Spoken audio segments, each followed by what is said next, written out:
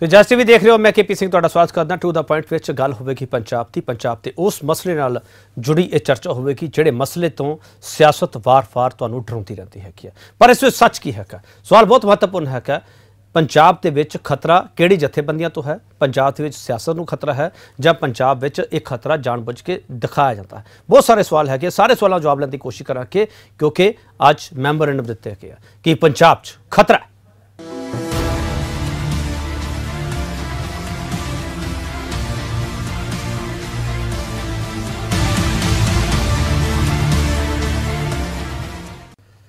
ਅੱਜ ਬੈਸ ਜਿਹੜੇ ਬਿੰਦੂ ਤੇ ਕਰ ਰਹੇ ਹਾਂ ਸਿਆਸਤ ਅਤੇ ਖਤਰਾ। ਕਿਉਂਕਿ ਮੈਮੋਰੈਂਡਮ ਦਿੱਤਾ ਗਿਆ ਗਵਰਨਰ ਪੰਜਾਬ ਕੋਲੇ ਫਿਕਰ ਜ਼ਾਹਰ ਕਰਨ ਲਈ ਅਕਾਲੀ ਭਾਜਪਾ ਦਾ ਵਫਦ ਪਹੁੰਚਿਆ। ਮੁਲਾਕਾਤ ਤੋਂ ਬਾਅਦ ਪੰਜਾਬ ਅੰਦਰ ਸੁਰੱਖਿਆ ਸੰਬੰਧੀ ਹਾਲਾਤਾਂ ਤੇ ਵਫਦ ਨੇ ਸਵਾਲ ਚੁੱਕਿਆ। ਯੂਪੀ ਦੇ ਸ਼ਾਮਲੀ ਤੋਂ ਹੋਈਆਂ ਗ੍ਰਿਫਤਾਰੀਆਂ ਤੇ ਸੁਖਬੀਰ ਬਾਦਲ ਨੇ ਖਦਸ਼ੇ ਜਤਾਇਆ ਕੈਪਟਨ ਅਮਰਿੰਦਰ ਸਿੰਘ ਦੇ ਰਾਜ ਵਿੱਚ ਵਿਗੜ ਰਹੇ ਨੇ ਸੂਬੇ ਦੇ ਹਾਲਾਤ, ਇਹ ਵੀ ਸਿੱਧਾ ਸਿੱਧਾ ਇਲਜ਼ਾਮ ਲਗਾਇਆ ਸੂਬੇ ਦੇ ਮੁੱਖ ਮੰਤਰੀ ਤੇ। ਸਰਕਾਰ ਕਰ ਰਹੀ ਹੈ ਗਰਮ ਖਿਆਲੀਆਂ ਦੀ ਹਮਾਇਤ, ਸੁਖਬੀਰ ਸਿੰਘ ਬਾਦਲ ਨੇ ਇਹ ਵੀ ਕਿਹਾ। ਬੀਤੇ ਦਿਨੀ ਸੂਬੇ 'ਚ ਕਸ਼ਮੀਰੀ ਨੌਜਵਾਨਾਂ ਦੀ ਗ੍ਰਿਫਤਾਰੀ ਦੇ ਮੁੱਦੇ ਤੇ ਵੀ ਸੁਖਬੀਰ ਖੁੱਲ੍ਹ ਕੇ ਬੋਲੇ ਕਿ ਕਾਨੂੰਨ ਵਿਵਸਥਾ ਤੇ ਖਤਰਾ ਹੈਗਾ ਪੰਜਾਬ ਦੇ ਵਿੱਚ। ਤੇ ਸਿਆਸਤ ਕਹਿੰਦੀ ਕੀ ਹੈ? ਪਹਿਲਾਂ ਉਹ ਸੁਣ ਲਈਏ। ਜਦੋਂ ਜਦੋਂ ਸਰਕਾਰ ਟੈਰਰਿਜ਼ਮ ਨੂੰ ਸਪੋਰਟ ਕਰਨ ਲੱਗ ਜੇ ਟੈਰਰਿਜ਼ਮ ਐਂਗਲ ਪੀਪਲ ਨੂੰ ਸਪੋਰਟ ਕਰਨ ਲੱਗ ਜੇ, ਉਹ ਸੋਚ ਨੂੰ ਸਪੋਰਟ ਕਰਨ ਲੱਗ ਜੇ, ਜਿਹੜੀ ਸਪੋਰਟ ਜਿਹੜੀ ਸੋਚ ਪੰਜਾਬ ਨੂੰ ਖੇਰੂ ਖੇਰੂ ਕਰਨਾ ਚਾਹੀਦਾ, ਭਰਾਵਾਂ 'ਚ ਲੜਾਈ ਜੰਗਾਂ ਚੁਣ ਕੇ ਜੇ ਉਹ ਸਰਕਾਰੀ ਸੋਚ ਨੂੰ ਸ਼ੁਰੂ ਕਰਦੇ ਜੇ ਜੇ ਸਰਕਾਰ ਉਹਨਾਂ ਨੂੰ ਇਨਕਰੇਜ ਕਰੇ, ਪੁਲਿਸ ਉਹਨਾਂ ਨਾਲ ਰਲ ਜੇ, ਹਾਲਾਤ ਕੀ ਹੈ? ਹੁਣ ਦੇਖੋ, ਪਹਿਲੇ 10 ਸਾਲ ਪੀਸਫੁਲ ਰਿਹਾ, ਹੁਣ ਬੰਬ ਸਿੱਟੇ ਜਾ ਰਹੇ ਆ ਜਲੰਧਰ ਪੁਲਿਸ ਸਟੇਸ਼ਨ ਤੇ। ਅਸਲਾ AK47 ਫੜੀ ਜਾ ਰਹੀਆਂ ਯੂਨੀਵਰਸਿਟੀਆਂ ਚੋਂ। ਆ ਹਾਲਾਤ ਯਾਦ ਕਰੋ 25 ਸਾਲ ਪਹਿਲੇ ਉਦੋਂ ਵੀ ਕਾਲਜਾਂ 'ਚ, ਯੂਨੀਵਰਸਿਟੀਆਂ 'ਚ AK47 ਫੜੀ ਗਈ ਸੀ, ਬੰਬ ਸ਼ੁਰੂ ਹੋਏ ਸੀ, ਉਹਦੇ ਬਾਅਦ ਕਿੱਥੋਂ ਤੋਂ ਕਿੱਥੇ ਵੱਧ ਗਈ? ਅੱਜ ਹਾਲਾਤ ਕੈਪਟਨ ਸਾਹਿਬ ਆ ਸੋਚ ਨਹੀਂ ਰਹੇ ਆਪਣੀ ਪੋਲਿਟਿਕਸ ਨਾ ਖੱਲੋ ਪੰਜਾਬ ਦੀ ਜਨਤਾ ਤੇ ਛੱਡ ਦਿਓ ਲੈਟ ਪੰਜਾਬ ਦੀ ਜਨਤਾ ਨੂੰ ਫੈਸਲਾ ਕਰ ਦਿਓ ਤੁਸੀਂ ਪੋਲਿਟਿਕਸ ਖੇਡ ਕੇ ਪੰਜਾਬ ਨੂੰ ਖਤਮ ਨਾ ਕਰੋ ਮੈਂ ਇਹ ਕਹਿਣਾ ਚਾਹੁੰਦਾ I know, I know. We will give full protection. There is no such thing that will be allowed. ਸਿਮਸੀ ਜਿੱਤਣ ਦੀ ਰਿਪੋਰਟ ਸੀ ਅ, ਤੁਹਾਡੇ ਕੋਲ ਹੁਣ ਮੈਂ ਤੁਹਾਡੇ ਨਾਲ ਡਿਸਕਸ ਨਹੀਂ ਕਰਨ ਲੱਗਿਆ ਸਵਾਲ ਇੱਕੋ ਹੀ ਪੁੱਛਾਂਗੇ। ਤੁਹਾਡਾ ਮੈਂ ਸ਼ੇਅਰ ਨਹੀਂ ਕਰ ਸਕਦਾ ਪਰ ਸਵਾਲ ਇੱਥੇ ਪੁੱਛਾਂਗੇ ਤੇ ਪੁੱਛਾਂਗੇ ਵੀ ਕਿ ਸ਼ੇਅਰ ਕੀ ਕੁਝ ਕੀਤਾ ਜਾ ਸਕਦਾ। ਅਕਾਲੀ ਭਾਜਪਾ ਪੰਜਾਬ ਦੇ ਗਵਰਨਰ ਤੱਕ ਕਿਹੜੇ ਖਤਰੇ ਦੇ ਖਦਸ਼ੇ ਲੈ ਕੇ ਪਹੁੰਚੇ ਇਸ ਸਵਾਲ ਤੇ ਚਰਚਾ ਕਰਾਂਗੇ। ਪੈਨਲ ਸਾਡਾ ਮੌਜੂਦ ਹੈਗਾ ਉਹਨਾਂ ਤੁਹਾਡਾ ਤਾਰਫ ਕਰਾ ਰਿਹਾ। ਵਿਕਰਮਜੀਤ ਸਿੰਘ ਸੀਨੇ ਪੱਤਰਕਾਰ ਨੇ ਵਿਕਰਮਜੀਤ ਸਿੰਘ ਇਹ ਅਲਰਟ ਜਿਹੜੇ ਜਾਰੀ ਹੁੰਦੇ ਉਸ ਨੂੰ ਚੰਗੀ ਤਰ੍ਹਾਂ ਭਲੀ ਭਾਂ ਸਮਝਦੇ ਹੈਗੇ। ਸਿਆਸਤ ਇਹਨਾਂ ਅਲਰਟਸ ਦੇ ਵਿੱਚੋਂ ਕੀ ਕੁਝ ਲੱਭਦੀ ਹੈ ਕਿ ਇਹ ਵੀ ਅ, ਭਲੀ ਭਾਂ ਸਮਝਦੇ ਵਿਕਰਮ ਜੀ ਤੁਹਾਡਾ ਬਹੁਤ ਸਵਾਗਤ ਹੈ। ਤਾਰਾ ਸੰਧੂ ਕਾਂਗਰਸ ਤੋਂ ਨੇ। ਸਤਿੰਦਰ ਸਿੰਘ ਗਿੱਲ ਸ਼੍ਰੋਮਣੀ ਅਕਾਲੀ ਦਲ ਤੋਂ ਹੈ। ਤੇ ਜਗਤਾਰ ਸਿੰਘ ਜਿਹੜਾ ਆਮ ਆਦਮੀ ਪਾਰਟੀ ਤੋਂ ਸਾਰੇ ਮੈਂ ਉਹਨਾਂ ਦਾ ਬਹੁਤ ਸਵਾਗਤ ਕਰਦੇ ਹਾਂ। ਸਭ ਤੋਂ ਪਹਿਲਾ ਸਵਾਲ ਤਾਰਾ ਸੰਧੂ ਤੁਹਾਨੂੰ ਕਰਨਾ ਚਾਹੂੰਗਾ। ਤਾਰਾ ਸੰਧੂ ਟੈਰਰਿਜ਼ਮ ਐਂਗਲ ਨੂੰ ਤੁਸੀਂ ਸਪੋਰਟ ਕਰ ਰਹੇ ਹੋ। ਇਹ ਸ਼੍ਰੋਮਣੀ ਅਕਾਲੀ ਦਲ ਨੇ ਤੁਹਾਡੇ ਤੇ ਇਲਜ਼ਾਮ ਲਾਇਆ ਹੈ, ਤੁਸੀਂ ਸੂਬੇ ਵਿੱਚ ਸ਼ਾਂਤੀ ਚਾਹੁੰਦੇ ਨਹੀਂ ਸੂਬੇ ਨੂੰ ਅੱਗ ਲਾਉਣਾ ਚਾਹੁੰਦੇ ਹੋ। ਪਹਿਲੀ ਗੱਲ ਤਾਂ ਇਹ ਸਾਰੇ ਹੀ ਬੇਬੁਨਿਆਦ ਇਲਜ਼ਾਮ ਹੈ।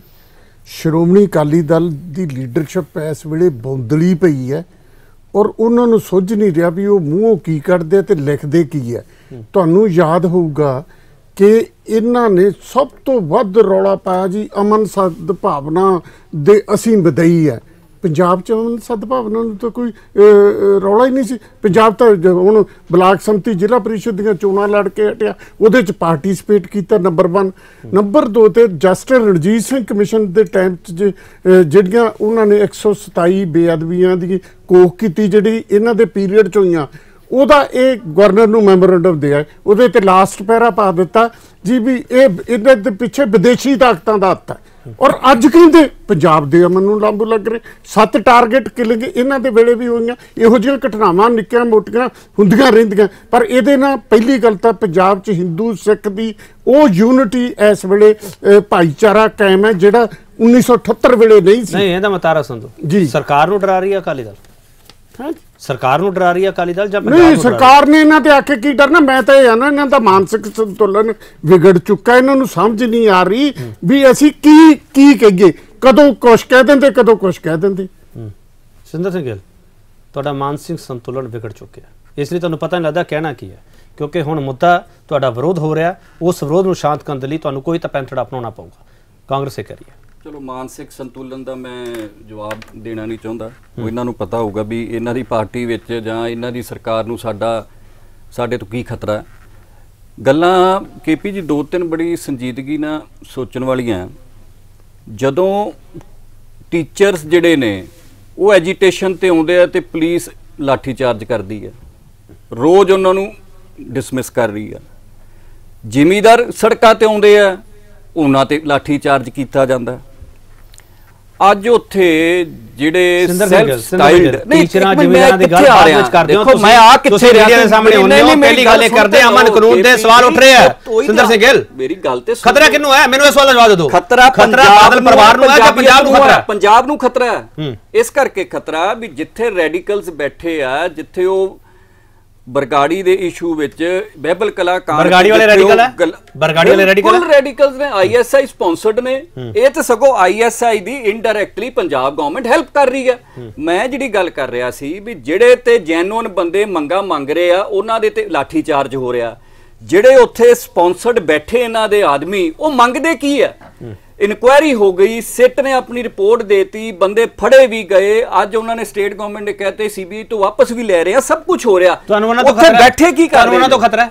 ਪੰਜਾਬ ਦੇ ਲੋਕਾਂ ਨੂੰ ਖਤਰਾ ਹੈ ਮਾਹੌਲ ਦੇ ਲੋਕਾਂ ਨੂੰ ਖਤਰਾ ਹੈ? ਆਈਐਸਆਈ ਨੂੰ ਇਨਡਾਇਰੈਕਟਲੀ ਹੈਲਪ ਕਰ ਰਹੀ ਹੈ ਗਵਰਨਮੈਂਟ ਜਗਤਾਰ ਸਿੰਘ ਗੜਾ ਤੁਸੀਂ ਵੀ ਇਹ ਸੋਚਦੇ ਹੋ ਹੈਲਪ ਹੈਲਪ ਆਈਐਸਆਈ ਦੀ ਹੋ ਰਹੀ ਹੈ ਜਗਤਾਰ ਸਿੰਘ ਗੜਾ ਤੁਸੀਂ ਵੀ ਇਹੀ ਸੋਚਦੇ ਹੋ ਦੇਖੋ ਇਹਦੇ ਵਿੱਚ ਜਿਹੜੀ ਸਾਬਕਾ ਉਪ ਮੁੱਖ ਮੰਤਰੀ ਤੇ ਸ਼੍ਰੋਮਣੀ ਅਕਾਲੀ ਦਲ ਦੇ ਪ੍ਰਧਾਨ ਸਰਦਾਰ ਸੁਖਵੀਰ ਸਿੰਘ ਬਾਦਲ ਜੀ ਨੇ ਗੱਲਾਂ ਕਹੀਆਂ ਆ ਮੈਂ ਉਹਨਾਂ ਨਾਲ ਉੱਕਾ ਹੀ ਸਹਿਮਤ ਨਹੀਂ ਹੈਗਾ। ਉਹ ਥੋੜਾ ਜਿਹਾ ਉਹਨੂੰ ਉਹਨੂੰ ਟਵਿਸਟ ਕਰਕੇ ਦੂਸਰੇ ਪਾਸੇ ਨੂੰ ਕਰਦੇ ਆ। ਸ਼੍ਰੋਮਣੀ ਅਕਾਲੀ ਦਲ ਦਾ ਇਹ ਖਾਸਾ ਰਿਹਾ ਆ। ਇਹਨਾਂ ਨੇ ਕਿਹਾ ਵੀ ਟੈਰਰਿਜ਼ਮ ਨੂੰ ਸਪੋਰਟ ਕਰਦੇ ਆ। ਪੰਜਾਬ ਵਿੱਚ ਹਾਲ ਦੀ ਘੜੀ ਟੈਰਰਿਜ਼ਮ ਦੀ ਕੋਈ ਨਾ ਹੀ ਤਾਂ ਕੋਈ ਨਾਮ ਨਿਸ਼ਾਨ ਹੈ ਨਾ ਹੀ ਸੰਭਾਵਨਾ ਆ। ਬਾਕੀ ਜਿਹੜੀਆਂ ਘਟਨਾਵਾਂ ਆ ਇਹ ਐਡੀ ਵੱਡੀ ਸਟੇਟ ਆ। ਵਰਲਡ ਵਾਈਡ ਹੀ ਕੁਝ ਕੋਈ ਨਾ ਕੋਈ ਘਟਨਾਵਾਂ ਹਰ ਜਗ੍ਹਾ ਹੁੰਦੀਆਂ ਰਹਿੰਦੀਆਂ ਆ। ਔਰ ਨਾ ਹੀ ਕੋਈ ਇਨਕਰੇਜ ਕਰ ਰਿਹਾ ਹੈ ਟੈਰਰਿਜ਼ਮ ਨੂੰ ਪੰਜਾਬ ਦੇ ਵਿੱਚ। ਔਰ ਨਾ ਹੀ ਪੁਲਿਸ ਕਿਤੇ ਰਲ ਗਈ ਆ ਜਿਸ ਤਰ੍ਹਾਂ ਇਹਨਾਂ ਨੇ ਕਿਹਾ ਬਹੁਤ ਵੱਡੀਆਂ ਗੱਲਾਂ ਨੇ ਕਹੀਆਂ ਇਦਾਂ ਨਹੀਂ ਐਡਮਿਨਿਸਟ੍ਰੇਸ਼ਨ ਤੇ ਸਿੱਧੇ ਦੋਸ਼ ਲਾਉਣੇ ਚਾਹੀਦੇ। ਤੁਸੀਂ ਮੁੱਦੇ ਦੀ ਗੱਲ ਕਰੋ। ਇਹ ਠੀਕ ਹੈ ਇਨਡਾਇਰੈਕਟਲੀ ਹਾਲਾਤ ਖਰਾਬ ਹੋ ਰਹੇ ਆ ਇਨਡਾਇਰੈਕਟਲੀ ਉਹ ਲੋਕਲ ਲੈਵਲ ਦੀ ਗੱਲ ਆ ਵੀ ਬੱਚਿਆਂ ਨੂੰ ਰੋਜ਼ਗਾਰ ਨਹੀਂ ਦਿੱਤਾ ਜਾ ਰਿਹਾ ਅਧਿਆਪਕਾਂ ਦੀਆਂ ਤਨਖਾਹਾਂ ਘਟਾਈਆਂ ਜਾ ਰਹੀਆਂ ਕਿਸਾਨ ਸੁਸਾਈਡ ਨਹੀਂ ਬੰਦ ਹੋ ਰਹੇ। ਜੋ ਵਾਅਦੇ ਕੀਤੇ ਸੀ ਜੋ ਗੁਟਕਾ ਸਾਹਿਬ ਤੇ ਹੱਥ ਰੱਖ ਕੇ ਸੌਹਾਂ ਖਾਧੀਆਂ ਸੀਗੀਆਂ ਨਸ਼ਾ ਖਤਮ ਕਰਾਂਗੇ। ਤੇ ਜਿਹੜੇ ਆ ਕਰਜ਼ ਮੁਕੰਮਲ ਕਰਜ਼ ਮਾਫੀ ਕਰਾਂਗੇ ਉਸ ਤਰ੍ਹਾਂ ਦੇ ਵਾਅਦੇ ਜਿਹੜੇ ਪੂਰੇ ਨਹੀਂ ਹੋ ਰਹੇ ਉਹ ਪ੍ਰੋਬਲਮਸ ਹੈਗੀਆਂ ਪਰ। ਜਿਸ ਤਰ੍ਹਾਂ AK47 AK47 ਕਹਿੰਦੇ ਪਹਿਲਾਂ ਵੀ ਕੋਈ ਸਕੂਲਾਂ ਯੂਨੀਵਰਸਿਟੀ ਚ ਮਿਲਦੇ ਸੀ ਮਿਲਦੀਆਂ ਸੀਗੀਆਂ। ਅਸੀਂ ਯੂਨੀਵਰਸਿਟੀਆਂ ਦੇ ਸਟੂਡੈਂਟ ਸੀਗੇ ਉਸ ਵੇਲੇ ਜਦੋਂ ਪਹਿਲਾਂ ਪਰ- ਪੰਜਾਬ 'ਚ ਪ੍ਰੋਬਲਮ ਆਈ ਆ। ਕੋਈ AK47 ਨਹੀਂ ਸੀ ਯੂਨੀਵਰਸਿਟੀਆਂ ਜਮ੍ਹਾਂ ਕੀਤੀਆਂ ਹੋਈਆਂ। ਸੁਖਵੀਰ ਬਾਦਲ ਜੀ ਤਾਂ ਉਹ ਜਾ ਕੇ ਅਮਰੀਕਾ ਬੈਠ ਗਏ ਸੀਗੇ। ਹਾਂਜੀ? ਉਸ ਵੇਲੇ ਸ਼੍ਰੋਮਣੀ ਅਕਾਲੀ ਦਲ ਨੇ ਪੂਰਾ ਪਾਰਟਿਸਿਪੇਟ ਕੀਤਾ ਪੰਜਾਬ ਦੇ ਹਾਲਾਤ ਜਿਹੜੇ ਆ ਉਹ ਖਰਾਬ ਕਰਨ ਦੇ ਵਿੱਚ ਕਾਂਗਰਸ ਆਈ ਨੇ। ਉਦੋਂ ਅਕਾਲੀ ਦਲ ਨੇ ਹਾਲਾਤ ਖਰਾਬ ਕਰਾਏ ਪੰਜਾਬ ਦੇ ਤੁਸੀਂ ਦੇਖੋ ਨੰਬਰ ਹੁਣ ਇਹ 1 ਕਹਿ ਰਿਹਾ ਪਾਰਟੀ ਕਾਂਗਰਸ ਸੀ। ਕਹਿ ਰਿਹਾ ਕਿ ਕਾਂਗਰਸ ਮੈਂ ਕਹਿ- 25 ਸਾਲ ਪਹਿਲਾਂ ਵਾਲੇ ਹਾਲਾਤ ਲੈ ਕੇ ਆਉਣਾ ਚਾਹੁੰਦੀ ਨੰਬਰ ਹੈ। 1 ਉਦੋਂ ਕਾਂਗਰਸ ਸੀਗੀ ਨੰਬਰ 2 ਤੇ ਸ਼੍ਰੋਮਣੀ ਅਕਾਲੀ ਦਲ ਨੇ ਵੀ ਮੂਵਮੈਂਟ ਨੂੰ ਚੰਗੀ ਤਰ੍ਹਾਂ ਹੈਂਡਲ ਨਹੀਂ ਕੀਤਾ। ਨੰਬਰ 1 ਕਾਂਗਰਸ ਨੇ ਹਾਲਾਤ ਖਰਾਬ ਕੀਤੇ ਆ। Operation Blue Star Darbar Sahib ਤੇ ਹਮਲਾ ਕੀਤਾ। ਉਸ ਤੋਂ ਬਾਅਦ 84 ਚ ਸਿੱਖਾਂ ਦਾ ਕਤਲੇਆਮ ਕੀਤਾ। ਨੰਬਰ 1 ਪਾਰਟੀ ਜਿਹੜੀ ਆ ਕਾਂਗਰਸ ਪਾਰਟੀ ਸਿੱਖ ਵਿਰੋਧੀ ਪੰਜਾਬ ਵਿਰੋਧੀ ਜਮਾਤ ਰਹੀ ਆ ਜਦੋਂ ਹਾਲਾਤ ਖਰਾਬ ਹੋਏ ਆ। ਪਰ। ਸ਼੍ਰੋਮਣੀ ਅਕਾਲੀ ਦਲ ਨੇ ਵੀ ਉਹਨੂੰ ਸਿਆਸੀ ਹਿੱਤਾਂ ਲਈ ਵਰਤਿਆ। ਜਿਹੜਾ ਆ ਉਸ ਵੇਲੇ ਸਾਰਾ। ਕੁਝ ਕੀਤਾ ਪਰ ਖੜੇ ਨਹੀਂ ਹੈ। ਮੁੰਡਿਆਂ ਦੇ ਨਾਲ ਖੜੇ ਨਹੀਂ ਹੈ। ਮੁੰਡੇ ਇਕੱਲੇ ਰਹਿ ਗਏ। ਘਰਾਂ ਚੋਂ ਕੱਢ ਕੱਢ ਕੇ ਮਾਰੇ ਨਿਰਦੋਸ਼ੇ ਵੀ ਮਾਰੇ ਗਏ ਝੂਠੇ ਮੁਕਾਬਲੇ ਬਣਾਏ ਬਹੁਤ ਜ਼ਿਆਦਾ ਪੰਜਾਬ ਦਾ ਨੁਕਸਾਨ ਹੋਇਆ। ਠੀਕ ਹੈ ਜਗਤਾਰ ਸਿੰਘ ਗੜਾ। ਤੁਹਾਡਾ ਤੁਹਾਡਾ ਪੁਆਇੰਟ ਆ ਗਿਆ ਮੈਂ ਆ ਰਿਹਾ ਤੁਹਾਡੇ ਕੋਲ। ਵਿਕਰਮਜੀਤ ਸਿੰਘ ਕਿਤੇ ਇਹੋ ਤਾਂ ਨਹੀਂ ਜਦੋਂ ਪੰਜਾਬ ਵਿੱਚ ਮੁੱਦਿਆਂ ਜ਼ਿਕਰ ਹੋਣਾ ਸ਼ੁਰੂ ਹੋ ਜਾਵੇ ਉਦੋਂ ਇੱਕ ਮੁੱਦਾ ਇਹੋ ਜਿਹਾ ਲਿਆਓ ਕਿ ਉਹਨਾਂ ਉਹ ਮੁੱਦੇ ਆ ਸਾਰੇ ਜਿਹੜੇ ਉਹ ਥੱਲੇ ਕਰ ਦਿੱਤੇ ਜਾਣ। ਕਿਤੇ ਇਹੋ ਜੀ ਸਿਆਸਤ ਤਾਂ ਨਹੀਂ ਹੋ ਰਹੀ? ਨਹੀਂ ਉਹ ਸਿਆਸਤ ਵੀ ਹੈ ਇਹਦੇ ਵਿੱਚ ਕਿਉਂਕਿ ਇਹ ਜਿਹੜਾ ਬਰਗਾਰੀ ਇਸ਼ੂ ਨੂੰ ਰੇਜ਼ ਕੀਤਾ ਹੈ ਜਸਟਿਸ ਰਣਜੀਤ ਸਿੰਘ ਕਮਿਸ਼ਨ ਦੇ ਥਰੂ ਔਰ ਸਭ ਨੂੰ ਪਤਾ ਕਿ ਜਸਟਿਸ ਰਣਜੀਤ ਸਿੰਘ ਦੀ ਜਿਹੜੀ ਲਿੰਕੇजेस ਨੇ ਉਹਨਾਂ ਦੇ ਕਿੱਥੇ ਲਿੰਕਸ ਨੇ ਉਹ ਕਿਸ ਪਾਰਟੀ ਨਾਲ ਹੈਗੇ ਨੇ। ਮੈਨੂੰ ਨਹੀਂ ਲੱਗਦਾ ਕਿ ਕਾਂਗਰਸ ਕੋਈ ਆਈਐਸਆਈ ਦੀ ਗੇਮ ਖੇਡ ਰਹੀ ਹੈ ਡਿਲੀਬਰੇਟਲੀ ਬਟ ਕਾਂਗਰਸ ਮੈਨੂੰ ਲੱਗਦਾ ਹੈ ਇਹ is unable to resist playing politics over sacrilege ਕਿਉਂਕਿ ਇਹ ਅਕਾਲੀਜ਼ ਨੂੰ ਕਾਫੀ ਡਿਫੈਂਸਿਵ ਤੇ ਪੁਸ਼ ਕਰਤਾ ਹੈ ਇਸ ਇਸ਼ੂ ਨੇ। ਤੁਸੀਂ ਦੇਖੋ ਅਕਾਲੀਆਂ ਵਿੱਚ ਵੀ ਇਹਨਾਂ ਦੇ ਸੀਨੀਅਰ ਲੀਡਰਸ ਕਾਫੀ ਓਪਨਲੀ ਆਊਟ ਆ ਕੇ ਇਹਨਾਂ ਨੇ ਆਪਣੀ ਰਿਜ਼ੈਂਟਮੈਂਟ ਸ਼ੋ ਕੀਤੀ ਹੈ towards the Badal families control so ਕਿਤੇ ਨਾ ਕਿਤੇ ਬਾਦਲ ਫੈਮਿਲੀ ਨੂੰ ਇਹ ਇਨਸਿਕਿਉਰਿਟੀ ਔਰ ਐਪਰੀਹੈਂਸ਼ਨ ਹੋ ਰਹੀ ਹੈ ਕਿ ਇਹ ਸੈਕ੍ਰਿਲੇਜ ਇਸ਼ੂ ਦੇ ਉੱਪਰ ਸਾਨੂੰ ਪੋਲਿਟੀਕਲ ਨੁਕਸਾਨ ਆਪਣੀ ਫੈਮਿਲੀ ਨੂੰ ਔਰ ਅਕਾਲੀ ਦਲ ਪਾਰਟੀ ਕੋ ਕੇ ਕੰਟਰੋਲ ਕਰਦੇ ਨੇ? ਪੰਜਾਬ ਨੂੰ ਖਤਰਾ ਕਿ ਬਾਦਲ ਪਰਿਵਾਰ ਨੂੰ ਖਤਰਾ? ਪੰਜਾਬ ਨੂੰ ਖਤਰਾ ਹੋ ਵੀ ਸਕਦਾ ਹੈ ਨਹੀਂ ਵੀ ਹੋ ਸਕਦਾ। ਅਗਰ ਆਪਾਂ ਕੈਟੇਗੋਰਿਕਲੀ ਕਹੀਏ ਕਿ ਜੀ ਪੰਜਾਬ ਬਿਲਕੁਲ ਹੁਣ ਆਈਐਸਆਈ ਦੇ ਕ੍ਰੋਸਹੇਅਰ ਚ ਆ ਕੇ ਉਹਨਾਂ ਦੀ ਗੇਮ ਪਲਾਨ ਆਈਐਸਆਈ ਦੇ ਪਲਾਨ ਹੈਗੇ ਪੰਜਾਬ ਉੱਪਰ ਬਟ ਦ ਪੁਆਇੰਟ ਇਜ਼ ਕਿ ਉਹ ਕਿੰਨੀ ਹੱਦ ਤੱਕ ਸਕਸੀਡ ਕਰ ਸਕਦੇ ਨੇ ਕਿੰਨੀ ਹੱਦ ਤੱਕ ਕੰਡੀਸ਼ਨਸ ਪੰਜਾਬ ਵਿੱਚ ਹੈਗੀਆਂ ਨੇ ਜਾਂ ਕਿੰਨੀ ਹੱਦ ਤੱਕ ਪੰਜਾਬ ਵਿੱਚ ਐਸੀ ਤਾਕਤਾਂ ਹੈਗੀਆਂ ਜੋ ਉਹਨਾਂ ਨੂੰ ਉਹਨਾਂ ਦੇ ਪਲਾਨ ਨੂੰ ਉਸ ਖਤਰੇ ਨੂੰ ਵੀ ਖਾਰਜ ਨਹੀਂ ਕਰ ਰਹੇ ਕਿਤੇ ਨਾ ਕਿਤੇ ਸਾਨੂੰ ਉਸ। ਪਹਿਲੇ ਤੇ ਵਿਚਾਰ ਕਰਨਾ ਤੁਸੀਂ। ਦੇਖੋ ਸੱਤ ਆਰਐਸਐਸ ਔਰ ਹਿੰਦੂ ਲੀਡਰਸ ਮਾਰੇ ਗਏ ਦੋ ਟੈਰਰਿਸਟ ਅਟੈਕਸ ਹੋਏ ਨੇ ਦੀਨਾਨਗਰ ਔਰ ਪਠਾਨਕੋਟ ਤੇ ਥਰੂ ਦਾ ਪੰਜਾਬ ਬਾਰਡਰ ਸਾਡੇ ਪੰਜਾਬ ਬਾਰਡਰ ਦੇ ਨਾਲ ਜੰਮੂ ਕਸ਼ਮੀਰ ਲੱਗਦਾ ਬਿਲਕੁਲ ਸਾਡਾ ਬਾਰਡਰ ਹੈ ਜੰਮੂ ਕਸ਼ਮੀਰ ਜਿੱਥੇ ਟੈਰਰਿਜ਼ਮ ਦਾ ਬੜਾ ਸਟਰੋਂਗ ਹੋਲਡ ਹੈਗਾ। ਠੀਕ ਹੈ? ਤੁਹਾਡੇ ਬਲਾਸ ਪੰਜਾਬ ਵਿੱਚ ਹੋਇਆ before the elections Aam Aadmi Party ਦੇ ਵੀ ਕੁਝ ਐਸੇ ਐਲੀਮੈਂਟਸ ਨੇ ਜਿਨ੍ਹਾਂ ਤੇ ਇਲਜ਼ਾਮ ਲੱਗਿਆ ਕਿ ਉਹ ਖਾਲਿਸਤਾਨੀ ਐਲੀਮੈਂਟਸ ਨਾਲ ਮਿਕਸਡ ਅਪ ਹੈਗੇ। ਔਰ ਸਾਨੂੰ ਸਭ ਤੋਂ ਵੱਡੀ ਗੱਲ ਇਹ ਸਮਝਣੀ ਪੈਣੀ ਹੈ ਕਿ ਆਈਐਸਆਈ ਦੀ ਜਿਹੜੀ ਸਟ੍ਰੈਟਜੀ ਹੈ ਉਹ ਇੰਡੀਆ ਉੱਪਰ ਬਦਲ ਰਹੀ ਹੈ। ਬਦਲ ਰਹੀ ਹੈ। ਚਲੋ ਇੱਕ ਮੈਂ ਛੋਟਾ ਬ੍ਰੇਕ ਲਾ ਇਲਜ਼ਾਮ ਤਾਂ ਜਿੱਥੇ ਮਰਜ਼ੀ ਲਾ ਦਿਓ ਕੇਪੀ ਜੀ। ਦਿੱਲੀ ਪਾਰਲੀਮੈਂਟ ਤੇ ਵੀ ਟੈਰਰਿਸਟ ਅਟੈਕ ਹੋਇਆ। ਪੰਜਾਬ ਦਾ ਬਾਰਡਰ ਸਟੇਟ ਹੈ। ਵਿਜਲ ਤਾਂ ਹਮੇਸ਼ਾ ਹੀ ਰੱਖਣਾ ਚਾਹੀਦਾ ਆ। ਪਰ ਜਿੱਦਾਂ ਦਾ ਸ਼੍ਰੋਮਣੀ ਅਕਾਲੀ ਦਲ ਨੇ ਅੱਜ ਗੱਲ ਕਹੀ ਆ ਮੈਂ ਉਹਦੇ ਬਾਰੇ ਕਹਿਣਾ ਵੀ ਉਦਾਂ ਦਾ ਕੋਈ ਥ੍ਰੈਟ ਨਹੀਂ ਦਿਸ ਚਲੋ ਰਿਹਾ। ਇੱਕ ਛੋਟਾ ਬ੍ਰੇਕ ਨਾਲ ਬ੍ਰੇਕ ਤੋਂ ਵਾਪਸ ਆਵਾਂਗੇ। ਆਈਐਸਆਈ ਦਾ ਗੇਮ ਪਲਾਨ ਹੈ ਜਿਹੜਾ ਬਦਲਦਾ ਪਿਆ ਉਸ ਤੇ ਵੀ ਚਰਚਾ ਕਰਨੀ ਬਣਦੀ ਹੈ ਕਿ ਕਿ ਵਾਕਈ ਪੰਜਾਬ 'ਚ ਖਤਰਾ ਹੈਗਾ ਜਾਂ ਸਿਆਸਤ ਇਸ ਖਤਰੇ ਨੂੰ ਉਭਾਰ ਕੇ ਮੁੱਦਿਆਂ ਨੂੰ ਛੁਪਾਉਣਾ ਚਾਹੁੰਦੀ ਹੈ ਬ੍ਰੇਕ ਤੋਂ ਵਾਪਸ ਆ ਕੇ ਇਹ ਸਵਾਲ ਮੁੜ ਤੋਂ ਪੁੱਛਾਂਗੇ। ਅਕਾਲੀ ਭਾਜਪਾ ਪੰਜਾਬ ਦੇ ਗਵਰਨਰ ਤੱਕ ਕਿਹੜੇ ਖਤਰੇ ਦੇ ਖਦਸ਼ੇ ਲੈ ਕੇ ਪਹੁੰਚੇ ਆ? ਉਹਨਾਂ ਤੇ ਹੀ ਚਰਚਾ ਕਰ ਰਹੇ ਹਾਂ। ਬਿਕਰਮਜੀਤ ਸਿੰਘ ਇਹ ਗੱਲ ਤੁਸੀਂ ਕਹਿ ਰਹੇ ਸੀ ਆਈਐਸਸੀ ਦਾ ਗੇਮ ਪਲਾਨ ਬਦਲ ਚੁੱਕਿਆ। ਮੈਂ ਸਵਾਲ ਇਸੇ ਨਾਲ ਇੱਕ ਹੋਰ ਜੋੜਨਾ ਚਾਹੁੰਦਾ ਅਸੀਂ ਰੈਡੀਕਲ ਸ਼ਬਦ ਦਾ ਇਸਤੇਮਾਲ ਆ ਕਦੋਂ ਕਰਦੇ? ਤੇ ਰੈਡੀਕਲ ਹੁੰਦੇ ਕੌਣ? ਨਹੀਂ ਦੇਖੋ ਰੈਡੀਕਲ ਆਰ ਪੀਪਲ ਜਿਹੜੇ extreme end of thought or ideology ਵਿੱਚ ਦੇ ਤਰਫ ਚੱਲ ਪੈਂਦੇ ਨੇ। And then they even think of resorting to ਜਿਹਨੂੰ ਕਹਿੰਦੇ ਨੇ violence to achieve political ends they get radicalized by their ideology so ਉਹ ਜਿਹੜੇ ਐਲੀਮੈਂਟਸ ਨੇ ਉਹ ਆ ਜਾਂਦੇ ਨੇ ਫੋਰਫਰੰਟ ਤੇ ਜਾਂ ਫ੍ਰਿੰਜ ਕਦੀ ਕਦੀ ਫ੍ਰਿੰਜ ਹੁੰਦੇ ਨੇ ਫੋਰਫਰੰਟ ਚ ਆਉਂਦੇ ਕਿਉਂਕਿ ਐਸੇ ਹਾਲਾਤ ਬਣ ਜਾਂਦੇ ਨੇ ਬਟ ਜਿਹੜੀ ਮੈਂ ਪੁਆਇੰਟ ਮੈਂ ਆਈ ਥਿੰਕ ਸਾਡੇ ਇੰਡੀਆ ਵਿੱਚ ਜਿਹੜੇ ਥਿੰਕਰਸ ਨੇ ਗ੍ਰਾਸਪ ਨਹੀਂ ਕਰ ਰਹੇ ਕਿ ਆਈਐਸਆਈ ਆਪਣੀ ਸਟ੍ਰੈਟਜੀ ਬਦਲ ਰਿਹਾ ਹੈ ਤੁਸੀਂ ਦੇਖੋ ਕਿ ਆਈਐਸਆਈ ਦੀ ਹੁਣ ਰਿਲਾਇੰਸ ਇੰਨਾ ਨਹੀਂ ਹੈ ਕਿ ਅਸੀਂ ਖਾੜਕੂ ਭੇਜ ਕੇ ਵੱਡੇ ਵੱਡੇ ਧਮਾਕੇ ਕਰੀਏ ਲੋਕਾਂ ਨੂੰ ਅਟੈਕ ਕਰੀਏ ਜਿਸ ਤਰ੍ਹਾਂ ਬੰਬੇ ਅਟੈਕ ਕੀਤਾ ਜਾਂ ਯੂ نو ਪੰਜਾਬ ਵਿੱਚ ਪਹਿਲਾਂ ਟੈਰਰਿਜ਼ਮ ਹੁੰਦੀ ਸੀ। ਕਿਉਂਕਿ ਦੋ ਰੀਜ਼ਨਸ ਨੇ। One internationally terrorism of that kind is being condemned ਉੱਤੇ ਸੈਂਕਸ਼ਨਸ ਆ ਰਹੇ ਨੇ। ਬੜੀਆਂ ਪ੍ਰੋਬਲਮਸ ਪੈ ਰਹੀਆਂ ਨੇ ਪਾਕਿਸਤਾਨ ਨੂੰ। ਦੂਜਾ ਸਾਡੇ ਜਿਹੜੇ ਬਾਰਡਰਸ ਨੇ ਉਹ ਬੈਟਰ ਸਿਕਿਉਰਡ ਨੇ। ਕਸ਼ਮੀਰ ਦਾ ਬਾਰਡਰ ਵੀ ਬੈਟਰ ਸਿਕਿਉਰਡ ਹੈ ਪੰਜਾਬ ਵਿੱਚ ਵੀ ਬਾਰਡਰ ਬੈਟਰ ਸਿਕਿਉਰਡ ਹੈ ਇਸ ਲਈ ਖਾੜਕੂਆਂ ਨੂੰ ਆਣਾ ਔਰ ਵੱਡੀ ਵੱਡੀ supply of guns and ammunition ਆਣਾ ਬੰਬਸ ਆਣਾ, ਉਹ ਔਖਾ ਹੋ ਗਿਆ। ਸੋ ਆਈਐਸਆਈ ਦੀ ਹੁਣ ਸਟ੍ਰੈਟਜੀ ਇਹ ਬਦਲ ਰਹੀ ਹੈ ਕਿ ਉਹ ਟਾਰਗੇਟਡ ਕਿਲਿੰਗਸ ਕਰਨਗੇ, ਕਿ ਉਹ, ਉਹਦਾ ਇੱਕ ਹੀ ਮਕਸਦ ਹੈ ਕਿ ਕਮਿਊਨਿਟੀਜ਼ ਵਿੱਚ ਕਲੈਸ਼ਸ ਆਣ। ਕਮਿਊਨਲ ਟੈਂਸ਼ਨਸ ਵਧਣ। ਤੁਸੀਂ ਦੇਖੋ ਕਸ਼ਮੀਰ ਵਿੱਚ ਵੀ ਅੱਜ ਪਾਕਿਸਤਾਨ ਕਹਿ ਰਿਹਾ ਕਿ ਸਾਡੇ ਖਾੜਕੂ ਜ਼ਿਆਦਾ ਨਹੀਂ ਕੁਝ ਕਰ ਰਹੇ ਉਹ ਕਸ਼ਮੀਰ ਦੇ ਇੰਡੀਜਨਸ ਮੂਵਮੈਂਟ ਬਣ ਗਿਆ। ਵਿਕਰਮਜੀਤ? ਜਿਹੜੀ ਗੱਲ ਤੁਸੀਂ ਕਹਿ ਰਹੇ ਹੋ ਕਮਿਊਨਿਟੀ ਦੇ ਵਿੱਚ ਕਲੈਸ਼ਸ ਹੋਣ ਆਈਐਸਆਈ ਆਈਐਸਆਈ ਇਸ ਇਸ ਨੂੰ ਉਭਾਰ ਰਿਹਾ ਪਰ ਇਹਦੇ ਨਾਲ ਇੱਕ ਸਵਾਲ ਹੈਗਾ ਇਹ ਸਵਾਲ ਕੈਪਟਨ ਅਮਰਿੰਦਰ ਸਿੰਘ ਤੇ ਚੁੱਕਦੇ ਆ ਕਿ ਉਹਨਾਂ ਨੂੰ ਸਪੋਰਟ ਕਰਦੇ ਪਏ ਉਸ ਦਾ ਮਤਲਬ ਕੀ ਹੈ? ਨਹੀਂ ਨਹੀਂ ਕੈਪਟਨ ਅਮਰਿੰਦਰ ਸਿੰਘ ਤੋਂ ਨੂੰ ਇਲਜ਼ਾਮ ਲਾਣਾ ਵਿਦਆਊਟ ਐਨੀ ਸਬਸਟੈਂਸਿਵ ਐਵੀਡੈਂਸ ਇਹ ਐਵੀਡੈਂਸ ਕੀ ਹੈ ਕਿਉਂਕਿ ਉਹ ਕੈਪਟਨ ਅਮਰਿੰਦਰ ਸਿੰਘ ਨੇ Ranjit Singh commission report place ਕੀਤੀ ਹੈ ਕਿਉਂਕਿ ਰਣਜੀਤ ਸਿੰਘ ਕਮਿਸ਼ਨ ਦੀ ਕੋਈ- ਪ੍ਰੋਬਲਮਸ ਹੈਗੀਆਂ ਉਹਦੇ ਵਿੱਚ what is the link of captain Amarinder Singh with ISI ਠੀਕ ਹੈ ਕੈਪਟਨ ਅਮਰਿੰਦਰ ਸਿੰਘ ਦੀ ਸਟੇਟਮੈਂਟ ਦੇਖੋ ਬੜੀ ਕਲੀਅਰਲੀ 7-8 ਜਿਹੜੇ ਹਿੰਦੂ ਲੀਡਰਸ ਮਰੇ ਸੀ ਉਹਨਾਂ ਦੇ ਸਾਰੇ ਕਿਲਰਸ ਤਾਂ ਹੀ ਕੈਪਟਨ ਅਮਰਿੰਦਰ ਸਿੰਘ ਦੀ ਗਵਰਨਮੈਂਟ ਨੇ ਅਰੈਸਟ ਕੀਤੇ ਨੇ ਅਕਾਲੀ ਬੀਜੇਪੀ ਨੇ ਤਾਂ ਕੁਝ ਕੀਤਾ ਹੀ ਨਹੀਂ ਠੀਕ ਹੈ so what where is the evidence Sinder Singh Gill ਤੁਹਾਡੇ ਕੋਲ ਸਬੂਤ ਕੀ ਹੈਗੇ? ਸਬੂਤ ਕੀ ਹੈ? ਦੇਖੋ, ਸੀਐਮ ਸਾਹਿਬ ਦੇ ਪਿੱਛੇ ਜੇ ਸਟੇਟਮੈਂਟ ਆਇਆ ਸੀ ਡਰੱਗਸ ਦੇ ਉੱਪਰ ਗੱਲ ਕੀਤੀ ਗਈ ਸੀ, ਉਹਨਾਂ ਨੂੰ ਸਵਾਲ ਪੁੱਛਿਆ ਗਿਆ ਸੀ। ਤੇ ਉਹਨਾਂ ਨੇ ਮੰਨਿਆ, ਕਹਿੰਦੇ ਵੀ ਪੰਜਾਬ ਦੇ ਵਿੱਚ ਡਰੱਗਸ ਜੀਐਂਡਕੇ ਤੋਂ ਵੀ ਆਉਂਦੇ ਆ, ਗੁਜਰਾਤ ਵੱਲੋਂ ਵੀ ਆਉਂਦੇ ਨੇ। ਬੇਅਦਬੀਆਂ ਦੇ ਜਿਹੜੇ ਇਸ਼ੂ ਹੋਏ, ਵੀ ਉਹਦੇ 'ਚ ਵੀ ਆਈਐਸਆਈ ਦਾ ਵੀ ਹੱਥ ਹੈ। ਟਾਰਗੇਟ ਕਿਲਿੰਗਸ ਦੇ ਵਿੱਚ ਵੀ ਉਹਨਾਂ ਨੇ ਆਈਐਸਆਈ ਦੀ ਗੱਲ ਮੰਨੀ। ਉਸ ਉਸ ਮੁੱਦੇ ਨੂੰ ਸਪੈਸੀਫਿਕ ਨਹੀਂ ਕੀਤਾ ਸੀਗਾ। ਜਿਹੜੇ ਮੁੱਦੇ? ਤੇ ਮੋਰਚਾ ਲੱਗਿਆ ਹੋਇਆ। ਉਸ ਮੁੱਦੇ ਨੂੰ ਸਪੈਸੀਫਾਈ ਨਹੀਂ ਕੀਤਾ ਸੀ ਉਹਨਾਂ ਨੇ। ਉਹਨਾਂ ਨੇ ਕਿਹਾ ਸੀ ਕੁਝ ਵਿੱਚ ਹੋ ਸਕਦਾ। ਉਹ ਤਾਂ ਨਹੀਂ ਕਹਿ ਸਕਦੇ। ਉਸ ਮੁੱਦੇ ਨੂੰ ਨਹੀਂ ਕਹਿ ਸਕਦੇ ਕਿਉਂਕਿ ਉਹ ਮੁੱਦਾ ਪੋਲੀਟੀਕਲ ਮੋਟੀਵੇਟਿਡ ਹੈ। ਜਿਹੜੇ ਉੱਥੇ ਬੰਦੇ ਬੈਠੇ ਨੇ ਇਕੱਠ ਕਰ ਰਹੇ ਆ। ਤੁਹਾਨੂੰ ਇਹ ਲੱਗਦਾ ਵੀ ਤੁਹਾਨੂੰ ਲੱਗਦਾ ਕਿ ਮੁੱਖ ਮੰਤਰੀ ਅੱਜ ਮੈਨੂੰ ਦੱਸੋ, ਸਿੰਦਰ ਸਿੰਘ ਗਿੱਲ।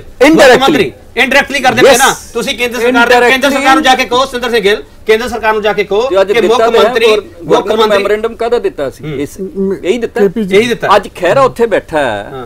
ਜਦੋਂ ਸਿਮਰਨਜੀਤ ਸਿੰਘ ਮਾਨ ਨੇ ਖਾਲਿਸਤਾਨ ਦੇ ਨਾਰੇ ਲਾਏ ਸੰਤ ਭਿੰਡਰਾਂ ਵਾਲੇ ਦੇ ਨਾਰੇ ਲਾਏ ਖਹਿਰੇ ਦਾ ਕੀ ਰਿਐਕਸ਼ਨ ਸੰਤ ਭਿੰਡਰਾਂ ਵਾਲੇ ਦੇ ਕੀ ਰਿਐਕਸ਼ਨ ਤੁਸੀਂ ਗੱਲ ਸੁਣੋ, ਅੱਜ ਨੇ ਸੀ- ਖਹਿਰਾ ਉੱਥੇ ਬੇਅਦਬੀ ਦੇ ਇਸ਼ੂ ਤੇ ਬੈਠਾ ਹੈ। ਕਦੀ ਉਹਨੇ ਇਹ ਗੱਲ ਮੰਨੀ ਵੀ 84 ਦੇ ਵਿੱਚ 2500 ਤੋਂ ਉੱਪਰ ਮਹਾਰਾਜ ਦੇ ਸਰੂਪਾਂ ਦੀ ਬੇਅਦਬੀ ਹੋਈ ਸੀ ਉਦੋਂ ਕਿਉਂ ਨਹੀਂ ਤੁਸੀਂ ਹੁਣ ਬੋਲੇ ਕੀ ਕਹਿਣਾ ਚਾਹੁੰਦੇ ਹੋ? ਸੁਖਪਾਲ ਸਿੰਘ ਖਹਿਰਾ ਤੇ ਅਸੀਂ- ਕੈਪਟਨ ਅਮਰਿੰਦਰ ਸਿੰਘ ਰਲੇ ਹੋਏ ਆ? ਦੇਖੋ ਇਹ ਸਭ ਬਿਲਕੁਲ ਰਲੇ ਹੋਏ ਆ। ਇਹ ਪੰਜਾਬੀ ਨਹੀਂ ਸਮਝਦੇ ਤੁਸੀਂ ਵੀ ਨਹੀਂ ਸਮਝਣਾ ਚਾਹੁੰਦੇ ਸਾਨੂੰ ਕੋਈ ਪ੍ਰੋਬਲਮ ਨਹੀਂ। ਨਹੀਂ ਸਾਨੂੰ ਆਉਣ ਵਾਲੇ। ਆਉਣ ਵਾਲੇ ਸਮੇਂ 'ਚ ਇਹ ਤੁਹਾਨੂੰ ਪਤਾ ਲੱਗ ਜਾਏਗਾ ਸਮਝ ਜਾਵਾਂ। ਇੱਕ ਪਾਸੇ ਤੇ ਜਿਹੜੇ ਟੀਚਰ ਨੇ ਉਹਨਾਂ ਨੂੰ ਤੇ ਛਿੱਤਰ ਪਰੇਡ ਕਰ ਰਹੇ ਹੋ ਇੱਕ ਪਾਸੇ ਜਿਹੜੇ ਬੈਠੇ ਉੱਤੇ ਤੁਸੀਂ ਮਾਹੌਲ ਬਹੁਤ ਖਰਾਬ ਨੂੰ ਟੀਚਰ ਜੀ ਉਹਨਾਂ ਨੂੰ ਤੁਸੀਂ ਨਾਲ ਤੁਸੀਂ ਬਹੁਤ ਹੋ। ਟੀਚਰ ਕੁੱਟਿਆ ਤੁਸੀਂ ਤੁਸੀਂ ਬਹੁਤ ਕੁੱਟਿਆ ਜੀ ਟੀਚਰ ਅੱਜ ਕਿੱਥੇ ਬਹੁਤ- ਬਹੁਤ 45000 ਕੁੱਟਿਆ ਤੋਂ। ਲੈ ਕੇ ਹਾਂ। 15000 ਤੇ ਉਹਨੂੰ ਕਰ ਦਿੱਤਾ ਤੇ ਹੈ, ਤੁਸੀਂ ਹੈ। ਬੜਾ ਵਧੀਆ ਗਵਰਨਮੈਂਟ। ਕਰ ਰਹੀ ਹਾਂ? ਡਾਇਵਰਟ ਕਰ ਰਹੀ ਹੈ ਲੋਕਾਂ ਦੇ ਮਾਈਂਡ ਨੂੰ ਇਹਨਾਂ ਨੂੰ ਕੁਐਸਚਨ ਵਾਸ ਵੈਰੀ ਕਲੀਅਰ ਕਿ ਐਵੀਡੈਂਸ ਕੀ ਹੈ ਇਹ ਹੀ is just issuing giving example of statement ਜਦ ਨਵਜੋਤ ਸਿੱਧੂ ਪਾਕਿਸਤਾਨ ਗਏ ਕਰਤਾਰਪੁਰ ਸਾਹਿਬ ਦੀ ਕੋਰੀਡੋਰ ਦੀ ਗੱਲ ਕਰਕੇ ਆਏ ਇਹਨਾਂ ਨੇ ਉਹਨਾਂ ਨੂੰ ਆਈਐਸਆਈ ਏਜੰਟ ਬਣਾਤਾ ਠੀਕ ਹੈ ਨਾ? Without any proof or anything ਕਿਉਂਕਿ ਉਹ ਪਾਕਿਸਤਾਨੀ ਆਰਮੀ ਚੀਫ ਨੂੰ ਹੱਕ ਕਰਕੇ ਆਏ। ਹੁਣ ਉਹਦਾ ਕੀ ਬਿਆਨ ਆਇਆ ਨਹੀਂ ਨਹੀਂ ਮੈਂ ਸੁਣ ਲਓ ਮੇਰੀ ਗੱਲ। ਨਹੀਂ, then you ਤੁਸੀਂ can ਸਬੂਤ ਦੀ ਗੱਲ ਕਰ ਨਹੀਂ ਨਹੀਂ ਆਮ। ਟਾਕਿੰਗ ਅਬਾਊਟ ਸਬੂਤ only you made him into an ISI agent. ਠੀਕ ਹੈ ਨਾ? ਤੁਸੀਂ ਐਜ਼ ਐਕਸਪਰਟ ਨਹੀਂ ਗੱਲ ਕਰ ਰਹੇ ਇੱਥੇ।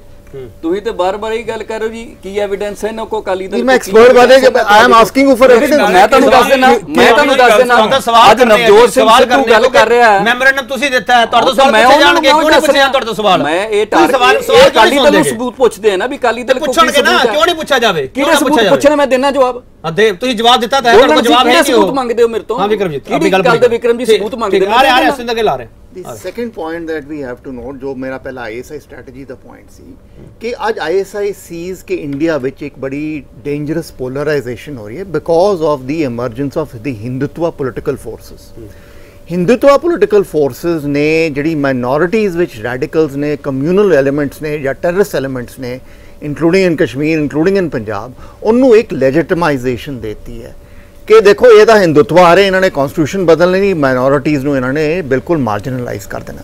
ਉਹਦੇ ਨਾਲ ਕੀ ਹੋ ਰਿਹਾ ਕਿ ਇਹਨਾਂ ਨੂੰ ਜਿਹੜੇ ਮਾਈਨੋਰਿਟੀਜ਼ ਵਿੱਚ ਇਹ ਜੇ ਤੱਤਵ ਬੈਠੇ ਨੇ, ਉਹ ਹਿੰਦੂਤਵਾ ਨੂੰ ਐਂਟੀ ਬਣ ਕੇ ਦੇ ਆਰ ਗੈਟਿੰਗ ਲੈਜਿਟਮਸੀ ਔਰ ਇਹ, ਇਸ ਦੇਸ਼ ਲਈ ਇਹ ਬੜੀ ਖਤਰਨਾਕ ਸਿਚੁਏਸ਼ਨ ਬਣ ਰਹੀ ਹੈ।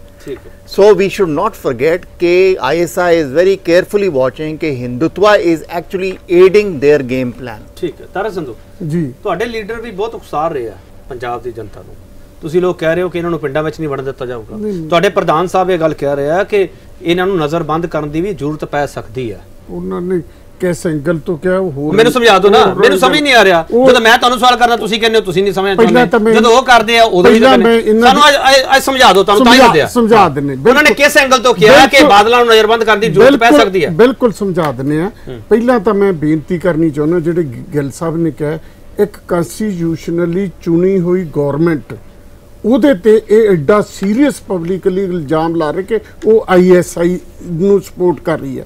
ਦੋ ਅਦਾਰੇ ਹੈ। ਇੱਕ ਹੈਗਾ ਇੰਟਰਨਲ ਮਿਨਿਸਟਰੀ ਆਫ ਹੋਮ ਜਿਹਦੇ ਰਾਜਨਾਥ ਜੀ ਹੈਗੇ ਆ ਚੀਫ ਤੇ ਦੂਸਰਾ ਹੈਗਾ ਵਿਦੇਸ਼ ਮੰਤਰੀ। ਕੀ ਉਹਨਾਂ ਵੱਲੋਂ ਇਸ ਤਰੀਕੇ ਦਾ ਕੋਈ ਇਲਜ਼ਾਮ ਲੱਗਾ? ਜਿਹੜਾ ਇਹਨਾਂ ਨੇ ਏਡਾ ਵੱਡਾ ਲਾਤਾ ਮੈਂ ਤਾਂ ਹੀ ਕਿਹਾ ਇਹਨਾਂ ਦਾ ਮਾਨਸਿਕ ਸੰਤੁਲਨ ਵਿਗੜਿਆ ਹੋਇਆ। ਦੂਜੀ ਗੱਲ ਜਿਹੜੀ ਕੱਲ ਘਮਾਣਾ ਦੇ ਵਿੱਚ ਹੋਈ ਕੀ ਘਟਨਾ ਹੋਈ ਜੀ? ਤੁਸੀਂ ਇਹਨਾਂ ਨੂੰ ਫਿਰ ਪ੍ਰੋਟੈਕਟ ਕਿਵੇਂ ਨਹੀਂ ਕਰੋਗੇ? ਵੀ ਭਾਈ ਕੋਈ ਹੋ- ਮਾੜਾ ਕੋਈ ਇਸ ਕਿਸਮ ਦਾ ਇਨਸੀਡੈਂਟ ਮਾੜਾ ਨਾ ਵਾਪਰ ਜਾਵੇ। ਉਹਨਾਂ ਦਾ ਪ੍ਰਧਾਨ ਜੀ ਦਾ ਜਾਖੜ ਸਾਹਿਬ ਦਾ ਕਹਿਣ ਦਾ ਆ ਐਂਗਲ ਸੀ ਉਹ ਤਾਂ ਉਹ ਤਾਂ ਇਹ ਵੀ ਕਹਿ ਰਹੇ ਪਰ ਕਿ ਤੁਸੀਂ ਤੁਸੀਂ ਸਪਾਂਸਰ ਕਰਾ ਰਹੇ ਹੋ। ਨਹੀਂ ਪਰ ਜਿੱਥੋਂ ਤੁਸੀਂ ਤੱਕ sponsor ਕਰਾ ਨਹੀਂ, ਰਹੇ ਹੋ, ਇਹਨਾਂ ਦਾ ਵਿਰੋਧ ਤੁਸੀਂ ਨਹੀਂ, ਕਰਦੇ ਪਏ ਹੋ। ਨਹੀਂ, ਨਹੀਂ। ਇਹ ਵੀ ਇਲਜ਼ਾਮ ਲੱਗਦੇ ਪਏ ਤੁਹਾਡੇ। ਨਹੀਂ, ਮੈਂ ਤੁਹਾਨੂੰ ਦੱਸਦਾ ਪਹਿਲੀ ਗੱਲ ਸਿਮਰਜੀਤ ਸਿੰਘ ਮਾਨ 34 ਸਾਲ ਤੋਂ ਖਾਲਿਸਤਾਨ ਦੇ ਨਾਰੇ ਲਾ ਰਿਹਾ ਪੰਜਾਬ ਦੇ ਵਿੱਚ। ਪੰਜਾਬੀਆਂ ਨੇ ਰਿਜੈਕਟ ਕੀਤਾ। 2020 ਰੈਫਰੈਂਡਮ ਆਇਆ ਪੰਜਾਬੀਆਂ ਨੇ ਮੂੰਹ ਨਹੀਂ ਲਾਇਆਗਾ। ਪੰਜਾਬ ਪੰਜ- ਉਹ 12 ਸਾਲਾਂ ਦੇ ਦਿਖਾਂਤ ਨੂੰ ਸਮਝਦਾ ਜਾਣਦਾ ਇਸੇ ਕਰਕੇ ਇੱਥੇ ਨਾ ਕੋਈ ਹਿੰਦੂ ਸਿੱਖ ਤਣਾ ਨਾ ਇੱਥੇ ਕੋਈ ਉਹ ਹੈ। ਸਿਰਫ ਤੇ ਸਿਰਫ ਇੱਕ ਗੱਲ ਤੇ ਉਹ ਬੈਠੇ ਆ। ਸੜਕ ਤੋਂ ਪਾਸੇ ਹੋ ਕੇ ਕਿ ਭਾਈ ਜਿਹੜੀਆਂ ਬੇਅਦਬੀ ਦੀਆਂ ਘਟਨਾਵਾਂ ਹੋਈਆਂ ਉਹਨਾਂ ਉਹਨਾਂ ਨੂੰ ਸਜ਼ਾ ਉਹ ਜਿਹੜੀ ਹੈ ਕੈਪਟਨ ਸਰਕਾਰ ਦੇਵੇ। ਆਹ ਗੱਲ ਉਹ ਮੰਗ ਰਹੇ। ਜਗਤਾਰ ਸਿੰਘੜਾ ਬਾਦਲਾਂ ਨੂੰ ਬਾਦਲਾਂ ਨੂੰ ਖਤਰਾ ਹੈਗਾ। ਦੇਖੋ ਬਹੁਤ ਮੰਦਭਾਗੀ ਗੱਲ ਹੈ ਜੋ ਆ ਗੱਲ ਫਲਾਈ ਜਾ ਰਹੀ ਆ। ਇੱਕ ਆਪਣੇ ਆਪ ਨੂੰ ਪੰਥਕ ਪਾਰਟੀ ਕਹਾਉਣ ਵਾਲੀ ਪਾਰਟੀ ਜਿਹੜੀ ਆ ਉਹ ਰੈਡੀਕਲ ਲਫ਼ਜ਼ ਵਰਤ ਰਹੀ ਆ ਜੋ ਬਰਗਾੜੀ 'ਚ ਬੈਠੇ ਆ ਜਾਂ ਹੋਰ ਸਾਰੇ ਘਟਨਾਕ੍ਰਮ ਵਾਸਤੇ। ਦੇਖੋ ਪੰਜਾਬ ਦੇ ਵਿੱਚ ਜਦੋਂ ਵੀ ਤੁਸੀਂ ਰੈਡੀਕਲ ਲਫ਼ਜ਼ ਵਰਤੋਗੇ ਨਾ ਸਿੱਖ ਕੌਮ ਦੇ ਲਈ ਖਤਰਾ ਪੈਦਾ ਕਰਨ ਵਾਲੀ ਗੱਲ ਆ ਇਹ। ਉੱਥੇ ਜਿਹੜੇ ਲੋਕ ਬੈਠੇ ਆ ਜਾਂ ਸਾਰੇ ਪੰਜਾਬ 'ਚ ਲੋਕ ਜਿਹੜੇ ਆ ਦੇਖੋ ਦੋ ਵਾਰੀ ਇਕੱਠੇ ਹੋਏ ਆ। ਪਹਿਲਾਂ 7 ਤਰੀਕ ਨੂੰ ਫਿਰ 14 ਤਰੀਕ ਨੂੰ ਲੱਖਾਂ ਦੀ ਗਿਣਤੀ 'ਚ ਲੋਕ ਇਕੱਠੇ ਹੋਏ ਆ। ਸਧਾਰਨ ਲੋਕ ਨੇ। ਗੁਰੂ ਗ੍ਰੰਥ ਸਾਹਿਬ ਜੀ ਨੂੰ ਆਪਣਾ ਗੁਰੂ ਮੰਨਣ ਵਾਲੇ ਲੋਕ ਨੇ। ਬੇਅਦਬੀ ਦੀਆਂ ਘਟਨਾਵਾਂ ਤੋਂ ਦੁਖੀ ਲੋਕ ਨੇ। ਮੰਗਾਂ ਕੀ ਆ ਉਹਨਾਂ ਦੀਆਂ? ਉਹਨਾਂ ਦੀਆਂ ਮੰਗਾਂ ਵੱਲ ਜਾਓ ਤੁਸੀਂ। ਵੀ ਇੱਕ ਤਾਂ ਬੇਅਦਬੀ ਦੀਆਂ ਘਟਨਾਵਾਂ ਦੇ ਦੋਸ਼ੀਆਂ ਵਿਰੁੱਧ ਕਾਰਵਾਈ ਕੀਤੀ ਜਾਵੇ। ਇੱਕ ਜਿਹੜੇ ਉੱਥੇ ਗੋਲੀ ਕਾਂਡ ਵਾਪਰਿਆ, ਪੁਲਿਸ ਨੇ AK47 ਨਾਲ ਗੋਲੀਆਂ ਚਲਾਈਆਂ, ਦੋ ਸਿੱਖ ਬੱਚੇ ਮਾਰੇ ਗਏ ਦਰਜਨਾ ਫੱਟੜ ਹੋਇਆ ਉਹਨਾਂ ਤੇ ਕਾਰਵਾਈ ਕੀਤੀ ਜਾਵੇ।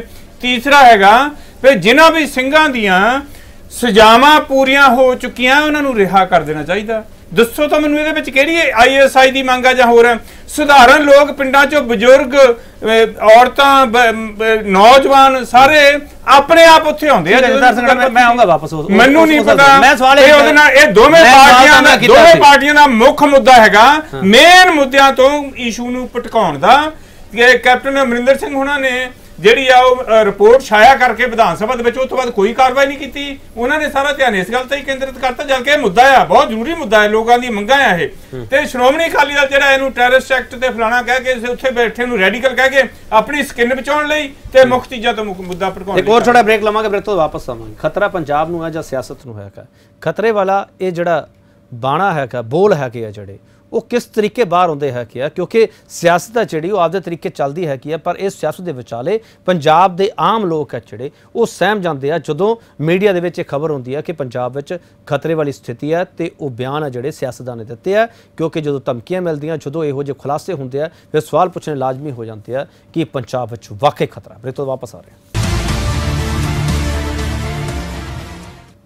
ਇੱਕ ਵਾਰ ਫਿਰ ਤੁਹਾਡਾ ਸਵਾਗਤ ਹੈ ਅਸੀਂ ਇਹ ਚਰਚਾ ਤੁਹਾਨੂੰ ਡਰਾਉਣ ਲਈ ਨਹੀਂ ਕਰ ਰਹੇ, ਤੁਹਾਨੂੰ ਦੱਸਣ ਲਈ ਕਰ ਰਹੇ ਹਾਂ ਕਿ ਇਹ ਚਰਚਾ ਦੇ ਵਿੱਚੋਂ ਨਿਕਲਦਾ ਕੀ ਹੈਗਾ, ਅਸਲ ਵਿੱਚ ਪੰਜਾਬ 'ਚ ਕਿਹੜੇ ਮੁੱਦਿਆਂ ਤੇ ਖਤਰਾ ਹੈਗਾ, ਪੰਜਾਬ ਦੇ ਵਿੱਚ ਬੇਰੁਜ਼ਗਾਰੀ ਦਾ ਖਤਰਾ ਹੈਗਾ, ਪੰਜਾਬ ਵਿੱਚ ਭੁੱਖਮਰੀ ਦਾ ਖਤਰਾ ਹੈਗਾ, ਪੰਜਾਬ ਵਿੱਚ ਕਿਸਾਨ ਖੁਦ ਹੀ ਖੁਦਕੁਸ਼ੀਆਂ ਕਰ ਰਿਹਾ, ਉਹਦਾ ਖਤਰਾ ਹੈਗਾ, ਪੰਜਾਬ ਵਿੱਚ ਅਧਿਆਪਕ ਧਰਨੇ ਤੇ ਬੈਠੇ ਆ, ਉਹਦਾ ਖਤਰਾ ਹੈਗਾ, ਪੰਜਾਬ ਵਿੱਚ ਇਨਸਾਫ ਨਹੀਂ ਮਿਲ ਰਿਹਾ ਜਿਨ੍ਹਾਂ ਚੀਜ਼ਾਂ ਦਾ, ਉਸ ਦਾ ਖਤਰਾ ਹੈਗਾ, ਪੰਜਾਬ ਵਿੱਚ ਮਹਿੰਗਾਈ ਬਹੁਤ ਜ਼ਿਆਦਾ ਹੈ ਉਸ ਦਾ ਖਤਰਾ ਹੈ ਪੰਜਾਬ ਵਿੱਚ ਪੈਟਰੋਲ, ਡੀਜ਼ਲ ਸਸਤਾ ਨਹੀਂ ਹੋ ਰਿਹਾ, ਉਸ ਦਾ ਖਤਰਾ ਹੈ। ਸਵਾਲ ਕਿਉਂ ਪੁੱਛ ਰਹੇ ਹਾਂ ਅਸੀਂ, ਸਵਾਲ ਅਸੀਂ ਇਹ ਪੁੱਛ ਰਹੇ ਹਾਂ ਅਕਾਲੀ ਭਾਜਪਾ ਪੰਜਾਬ ਦੇ ਗਵਰਨਰ ਤੱਕ ਕਿਹੜੇ ਖਤਰੇ ਦੇ ਖਦਸ਼ੇ ਲੈ ਕੇ ਪਹੁੰਚੇ? ਜਗਤਾਰ ਸਿੰਘੜਾ ਮੈਂ ਸਵਾਲ ਤੁਹਾਨੂੰ ਇਹ ਕਰ ਰਿਹਾ ਸੀਗਾ ਬਾਦਲਾਂ ਨੂੰ ਜਾਂ ਮੁ- ਸਾਬਕਾ ਮੁੱਖ ਮੰਤਰੀ ਪ੍ਰਕਾਸ਼ ਸਿੰਘ ਬਾਦਲ ਨੂੰ ਜਿਹੜਾ ਸ਼ਾਮਲੀ ਤੋਂ ਇਨਪੁਟ ਮਿਲੀ ਹੈ ਕੀ ਹੈ ਉਸ ਨੂੰ ਤੁਸੀਂ ਸਮਝਦੇ ਹੋ ਕਿ ਉਹ ਤਾਂ ਖਤਰਾ ਹੈ ਜਾਂ ਨਹੀਂ ਹੈ? ਨਹੀਂ ਦੇਖੋ ਉਹ ਥ੍ਰੈਟ ਹੈਗਾ ਆ। ਹਾਂ। ਉਹਦੇ ਵਿੱਚ ਜਿਹੜੀ ਆ ਉਹ ਪੰਜਾਬ ਸਰਕਾਰ ਦੀ ਡਿਊਟੀ ਬਣਦੀ ਆ ਵੀ ਹਰ ਇੱਕ ਬੰਦੇ ਨੂੰ ਉਸ ਹਿਸਾਬ ਨਾਲ ਉਹਦੀ ਜਿਹੜੀ ਸਿਕਿਉਰਿਟੀ ਦਾ ਇੰਤਜ਼ਾਮ ਕਰਨਾ ਚਾਹੀਦਾ ਪ੍ਰੋਟੈਕਸ਼ਨ ਦੇਣੀ ਚਾਹੀਦੀ ਹੈ ਉਹਦੇ ਉਹ ਉਹ ਜਿਹੜੀ ਗੱਲ ਹੈਗੀ ਆ ਉਹ ਇਸ ਵੇਲੇ ਪੰਜਾਬ 'ਚ ਮਾਹੌਲ ਇਸ ਤਰ੍ਹਾਂ ਦਾ ਬਣਿਆ ਹੋਇਆ। ਸ਼੍ਰੋਮਣੀ ਅਕਾਲੀ ਦਲ ਲਈ ਜਨਰਲ ਤੌਰ ਤੇ ਤੇ ਬਾਦਲ ਪਰਿਵਾਰ ਲਈ ਖਾਸ ਤੌਰ ਤੇ ਸੰਕਟ ਦੀ ਘੜੀ ਆ ਇਹ। ਇਹਦੇ ਵਿੱਚ ਦੇ ਸ਼ੁੱਡ ਬੀ ਕੇਅਰਫੁਲ ਇਹ ਕੋਈ ਮੈਂ ਨਹੀਂ ਇਹ ਜੋ ਸਾਹਮਣੇ ਦਿਸ ਰਿਹਾ ਹੈ ਉਹਦੇ ਅ, ਅਨੁਸਾਰ ਹੈ। ਮੈਂ ਕਿਸੇ ਦੇ ਨਿੱਜੀ ਕੋਈ ਇਲਜ਼ਾਮ ਨਹੀਂ ਲਗਾਉਂਦਾ ਹੈਗਾ। ਜੋ ਵੀ ਪਿਛਲੇ ਸਮੇਂ 'ਚ ਘਟਨਾਵਾਂ ਹੋਈਆਂ ਜਦੋਂ ਦੀ ਰਿਪੋਰਟ ਛਾਇਆ ਕੀਤੀ ਹੈ ਵਿਧਾਨ ਸਭਾ ਦੇ ਵਿੱਚ ਬਾਕੀ ਜਿਹੜੀਆਂ ਇਨਵੈਸਟੀਗੇਟਿੰਗ ਏਜੰਸੀਜ਼ ਆ ਉਹਨਾਂ ਨੂੰ ਪਤਾ ਹੋਊਗਾ। ਜੋ ਨਿਊਜ਼ਪੇਪਰ ਜੋ ਮੀਡੀਆ ਚਾਹੁੰਦਾ ਜਾਂ ਜੋ ਪਰਸੈਪਸ਼ਨ ਹੈ ਉਹ ਹੈਗੀ ਹੈ ਕਿ ਉਹ ਖਤਰਾ ਹੈਗਾ ਆ। ਬਟ ਉਹਦਾ ਆਈਐਸਆਈ ਨਾਲ ਜਾਂ ਟੈਰਰਿਜ਼ਮ ਨਾਲ ਜਾਂ ਉਹ ਦੂਜੀਆਂ ਗੱਲਾਂ ਦਾ ਨਹੀਂ ਕੋਈ ਮਤਲਬ ਹੈਗਾ। ਠੀਕ ਹੈ। ਸਿਆਸੀ ਲੋਕਾਂ ਨੂੰ ਵੱਡੇ ਹੈ ਲੋਕਾਂ ਨੂੰ ਵੇਲੇ ਵੇਲੇ ਸੰਕਟ ਵਾਪਸ। ਵਿਕਰਮ ਜੀ ਤੁਸੀਂ ਆਪਣੀ ਗੱਲ ਵੀ ਕਰ ਲਿਓ ਮੇਰਾ ਸਵਾਲ ਵੀ ਲੈ ਲਓ ਨਾਲ।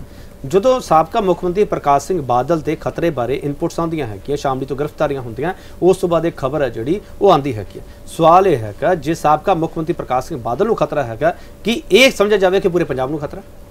ਨਹੀਂ ਪੰਜਾਬ ਨੂੰ ਖਤਰਾ ਡਾਇਰੈਕਟਲੀ ਇਸ ਤਰ੍ਹਾਂ ਨਹੀਂ ਆਪਾਂ ਕਹਿ ਸਕਦੇ ਕਿ Badal is equal to Punjab. But ਦੇਖੋ ਬਾਦਲ ਸਾਹਿਬ ਨੂੰ ਖਤਰਾ ਹੈ।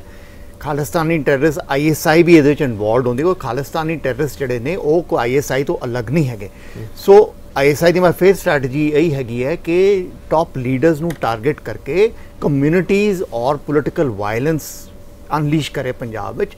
ਔਰ ਇਹ ਜਿਹੜਾ ਬਰਗਾਰੀ ਜਿਸ ਤਰ੍ਹਾਂ ਸੈਕਰੇਜ ਤੇ ਬੜੇ ਅਨਫੋਰਚੂਨੇਟ ਇਨਸੀਡੈਂਟਸ ਹੋਏ ਨੇ ਇਹ ਮੈਂ ਬਿਲਕੁਲ ਮੰਨਦਾ ਕਿ ਜਸਟਿਸ ਮਿਲਣੀ ਚਾਹੀਦੀ ਪਰ ਐਟ ਦ ਸੇਮ ਟਾਈਮ ਇਸ ਸਿਚੁਏਸ਼ਨ ਨੂੰ ਸਾਨੂੰ ਡਿਫਿਊਜ਼ ਕਰ ਦੇਣਾ ਚਾਹੀਦਾ ਕਿਉਂਕਿ ਪੰਜਾਬ ਪਹਿਲਾਂ ਬਾਰਡਰ ਸਟੇਟ ਹੈ ਦੂਜਾ it has a history of violence ਔਰ ਇਹ instability Punjab after partition partition ਦੇ ਬਾਅਦ ਵੀ ਪੰਜਾਬ ਅਨਸਟੇਬਲ ਰਿਹਾ ਇੰਨੀ ਐਜੀਟੇਸ਼ਨਸ ਹੋਈਆਂ ਨੇ। ਸੋ ਸਾਨੂੰ ਵਿਦ ਹਿੰਟਸਾਈਟ ਬਾਈ ਲਰਨਿੰਗ ਇਤਿਹਾਸ ਦੇ ਜਿਹੜੇ ਲੈਸਨਸ ਨੇ ਇਹ ਜਿਹੜਾ ਸ- ਬਰਗਾਰੀ ਜਿਸ ਤਰ੍ਹਾਂ ਐਪੀਸੋਡਸ ਨੇ, ਇਹਨਾਂ ਨੂੰ ਵੀ ਬੜੇ ਪੀਸਫੁਲੀ ਔਰ ਚੁੱਪਚਾਪ ਕਰਕੇ ਜ਼ਿਆਦਾ ਇਹਨਾਂ ਨੂੰ ਵੀ should not make them very volatile and ਕਿ ਜੀ, ਜਦ ਤੱਕ ਜਸਟਿਸ ਨਹੀਂ ਮਿਲਦਾ, ਅਸੀਂ ਤਾਂ ਮਰ ਜਾਵਾਂਗੇ। ਇਹ ਬੜੀ ਵੱਡੀ ਗੱਲ ਹੈ। ਜਸ, ਵੀ ਜਸਟਿਸ ਕੀ ਜਸਟਿਸ ਤਾਂ ਹੋਰ ਵੀ ਪੰਜਾਬ ਵਿੱਚ ਬੜੇ ਨੇ। ਫਾਰਮਰਸ ਰੋਜ਼ ਸੁਸਾਈਡ ਕਮਿਟ ਕਰ ਰਹੇ ਨੇ। ਉਹ ਇੰਨੇ ਮਰ ਗਏ ਨੇ, ਇੱਥੇ ਦੋ ਬੰਦੇ ਮਰ ਰਹੇ we are creating such a hullabaloo over it ਕੋ ਆਪਾਂ ਧਰਮ ਦੇ ਨਾਮ ਤੇ ਨਾ ਭੜਕਾਈਏ। ਕਿਉਂਕਿ ਇਹ ਅਲਟੀਮੇਟਲੀ ਪੰਜਾਬ ਦੇ ਲੋਕਾਂ ਨੂੰ ਹੀ ਨੁਕਸਾਨ ਹੋਣਾ ਹੈ। ਉਹੀ ਜਿਹੜੇ ਆਮ ਲੋਕ ਜਾ ਕੇ ਬਰਗਾਰੀ ਦੇ ਰੈਲੀਜ਼ ਜਾ ਕੇ ਬੈਠ ਰਹੇ ਨੇ ਕਿਉਂਕਿ ਉਹਨਾਂ ਦਾ ਮਨ ਸੱਚਾ ਹੈ ਉਹ ਨੁਕਸਾਨ ਉਹਨਾਂ ਨੂੰ ਹੀ ਹੋਣਾ ਇਸ ਇਹ- ਪੰਜਾਬ ਸਰਕਾਰ ਦੀ ਡਿਊਟੀ ਹੈ ਨਾ। ਉਸ ਮਸਲੇ ਨੂੰ ਹੱਲ ਕਰੇ ਅਦਰਵਾਈਜ਼ ਇਹ ਵੱਡੀ ਗੱਲ ਹੈ। ਨਹੀਂ, ਮੈਂ ਗੁਰੂ ਗ੍ਰੰਥ ਸਾਹਿਬ ਦੀ ਬੇਅਦਬੀ ਦੀਆਂ ਘਟਨਾਵਾਂ ਬਹੁਤ ਅਹਿਮ ਬਹੁਤ ਵੱਡਾ ਮੁੱਦਾ ਹੈ ਇਹ। ਫਿਰ ਕਤਲ ਦਾ ਮੁੱਦਾ। ਦੋ ਸਿੱਖ ਬੱਚੇ ਜਿਹੜੇ ਸਤਨਾਮ ਵਾਹਿਗੁਰੂ ਦੀ ਜਾਪ ਕਰ ਰਹੀ ਸੀ ਸੰਗਤ ਉਹਨਾਂ ਤੇ ਗੋਲੀ ਚਲਾਈ ਗਈ। ਦੋ ਸਿੱਖ ਬੱਚਿਆਂ ਦਾ ਕਤਲ ਹੋਇਆ ਦਰਜਨਾਂ ਫੱਟੜ ਹੋਇਆ। ਸਰਕਾਰ ਦੀ ਡਿਊਟੀ ਬਣਦੀ ਆ ਵੀ ਇਸ ਮਸਲੇ ਨੂੰ ਲਟਕਾਉਣਾ ਨਹੀਂ ਚਾਹੀਦਾ। ਇਸ ਮਸਲੇ ਨੂੰ ਕਨਕਲੂਡਿੰਗ ਐਂਡ ਤੱਕ ਜਾਣਾ ਚਾਹੀਦਾ I am not naming anybody but ਇਹਨੂੰ. ਲਟਕਾ ਕੇ ਇਹਦੇ ਤੇ ਸਿਆਸਤ ਕਰਨੀ ਉਹਦੇ ਨਾਲ ਜਿਹੜੇ ਪੰਜਾਬ ਵਿਕਰਮ ਜੀ ਦੇ ਕਾਲੀ ਭਾਜਪਾ ਦੇ ਰਾਜ ਵਿੱਚ ਇਹਨਾਂ ਦੀ ਸਰਕਾਰ ਹੁੰਦੇ ਹੋਏ ਚੱਬੇਵਾਲ ਦੇ ਵਿੱਚ ਕੀ ਹੋਇਆ ਸੀ ਜੀ? 25 ਤੋਂ 30 ਚੱਬੇ- 30 ਕਿਲੋਮੀਟਰ ਲੋਕ ਤੁਰ ਕੇ ਪੈਦਲ ਗਏ ਸੀਗੇ। ਪਰ ਜਦੋਂ ਉੱਥੇ ਅਨਾਉਂਸ ਕੀਤਾ ਵੀ ਜਗਤਾਰ ਸਿੰਘ ਹਵਾਰਾ ਅਕਾਲ ਤਖਤ ਦੇ ਜਥੇਦਾਰ ਹੋਣਗੇ ਉਦੋਂ ਗਾਂ ਉਹ ਮੂਵਮੈਂਟ ਕਿੱਧਰ ਗਈ? ਕਿਉਂਕਿ ਪੰਜਾਬ ਦੇ ਲੋਕਾਂ ਨੂੰ ਤੁਸੀਂ ਐ ਨਾ ਸਮਝੋ ਪੰਜਾਬ ਦੇ ਲੋਕ ਜੇ ਜਜ਼ਬਾਤੀ ਹੈ ਜਾਂ ਇਹ ਚਾਹੁੰਦੇ ਆ ਕਿ ਬੇਅਦਬੀ ਦੀਆਂ ਘਟਨਾਵਾਂ ਦੇ ਦੋਸ਼ੀਆਂ ਨੂੰ ਸਜ਼ਾਵਾਂ ਦੇਣ ਪਰ ਉਹ ਸਾਡੇ ਸਟੇਟ ਨੂੰ ਕੋਈ ਗੁੰਮਰਾਹ ਕਰਕੇ ਕਿਸੇ ਪਾਸੇ ਵੱਲ ਨੂੰ ਮੂਵਮੈਂਟ ਲੈ ਜੇ ਇਹਦੀ ਵੀ ਤਾਰਾ ਨਾਲੇ ਲੋਕ ਇਨਸਾਫ ਹੀ ਮੰਗ ਰਹੇ ਆ। ਸਰਕਾਰ ਜਸਟਿਸ ਕਰ ਦੇਵੇ ਬਸ ਹੋਰ ਕੀ? ਤਾਰਾ ਸੰਧੂ ਸਵਾਲ ਇਹ ਉੱਠਿਆ ਹੈਗਾ ਕਿ ਧਰਮ ਦੇ ਨਾਂ ਤੇ ਭੜਕਾਇਆ ਜਾ ਰਿਹਾ ਹੈਗਾ। ਸਵਾਲ ਬੜਾ ਮਹੱਤਵਪੂਰਨ ਹੈਗਾ। ਤੁਸੀਂ ਨਹੀਂ ਚਾਹੁੰਦੇ ਕਿ ਬਰਗਾੜੀ ਇਨਸਾਫ ਮੋਰਚਾ ਖਤਮ ਹੋਵੇ? ਧਾਰਮਿਕ ਨਾਂ ਤੇ ਉਦੋਂ ਭੜਕਾਈਆਂ ਜਾਂਦੀਆਂ ਚੀਜ਼ਾਂ ਜਿ- ਜਿਸ ਤਰੀਕੇ ਨਾਲ ਪੰਜਾਬ ਪ੍ਰੋਬਲਮ ਸ਼ੁਰੂ ਹੋਈ ਸੀ।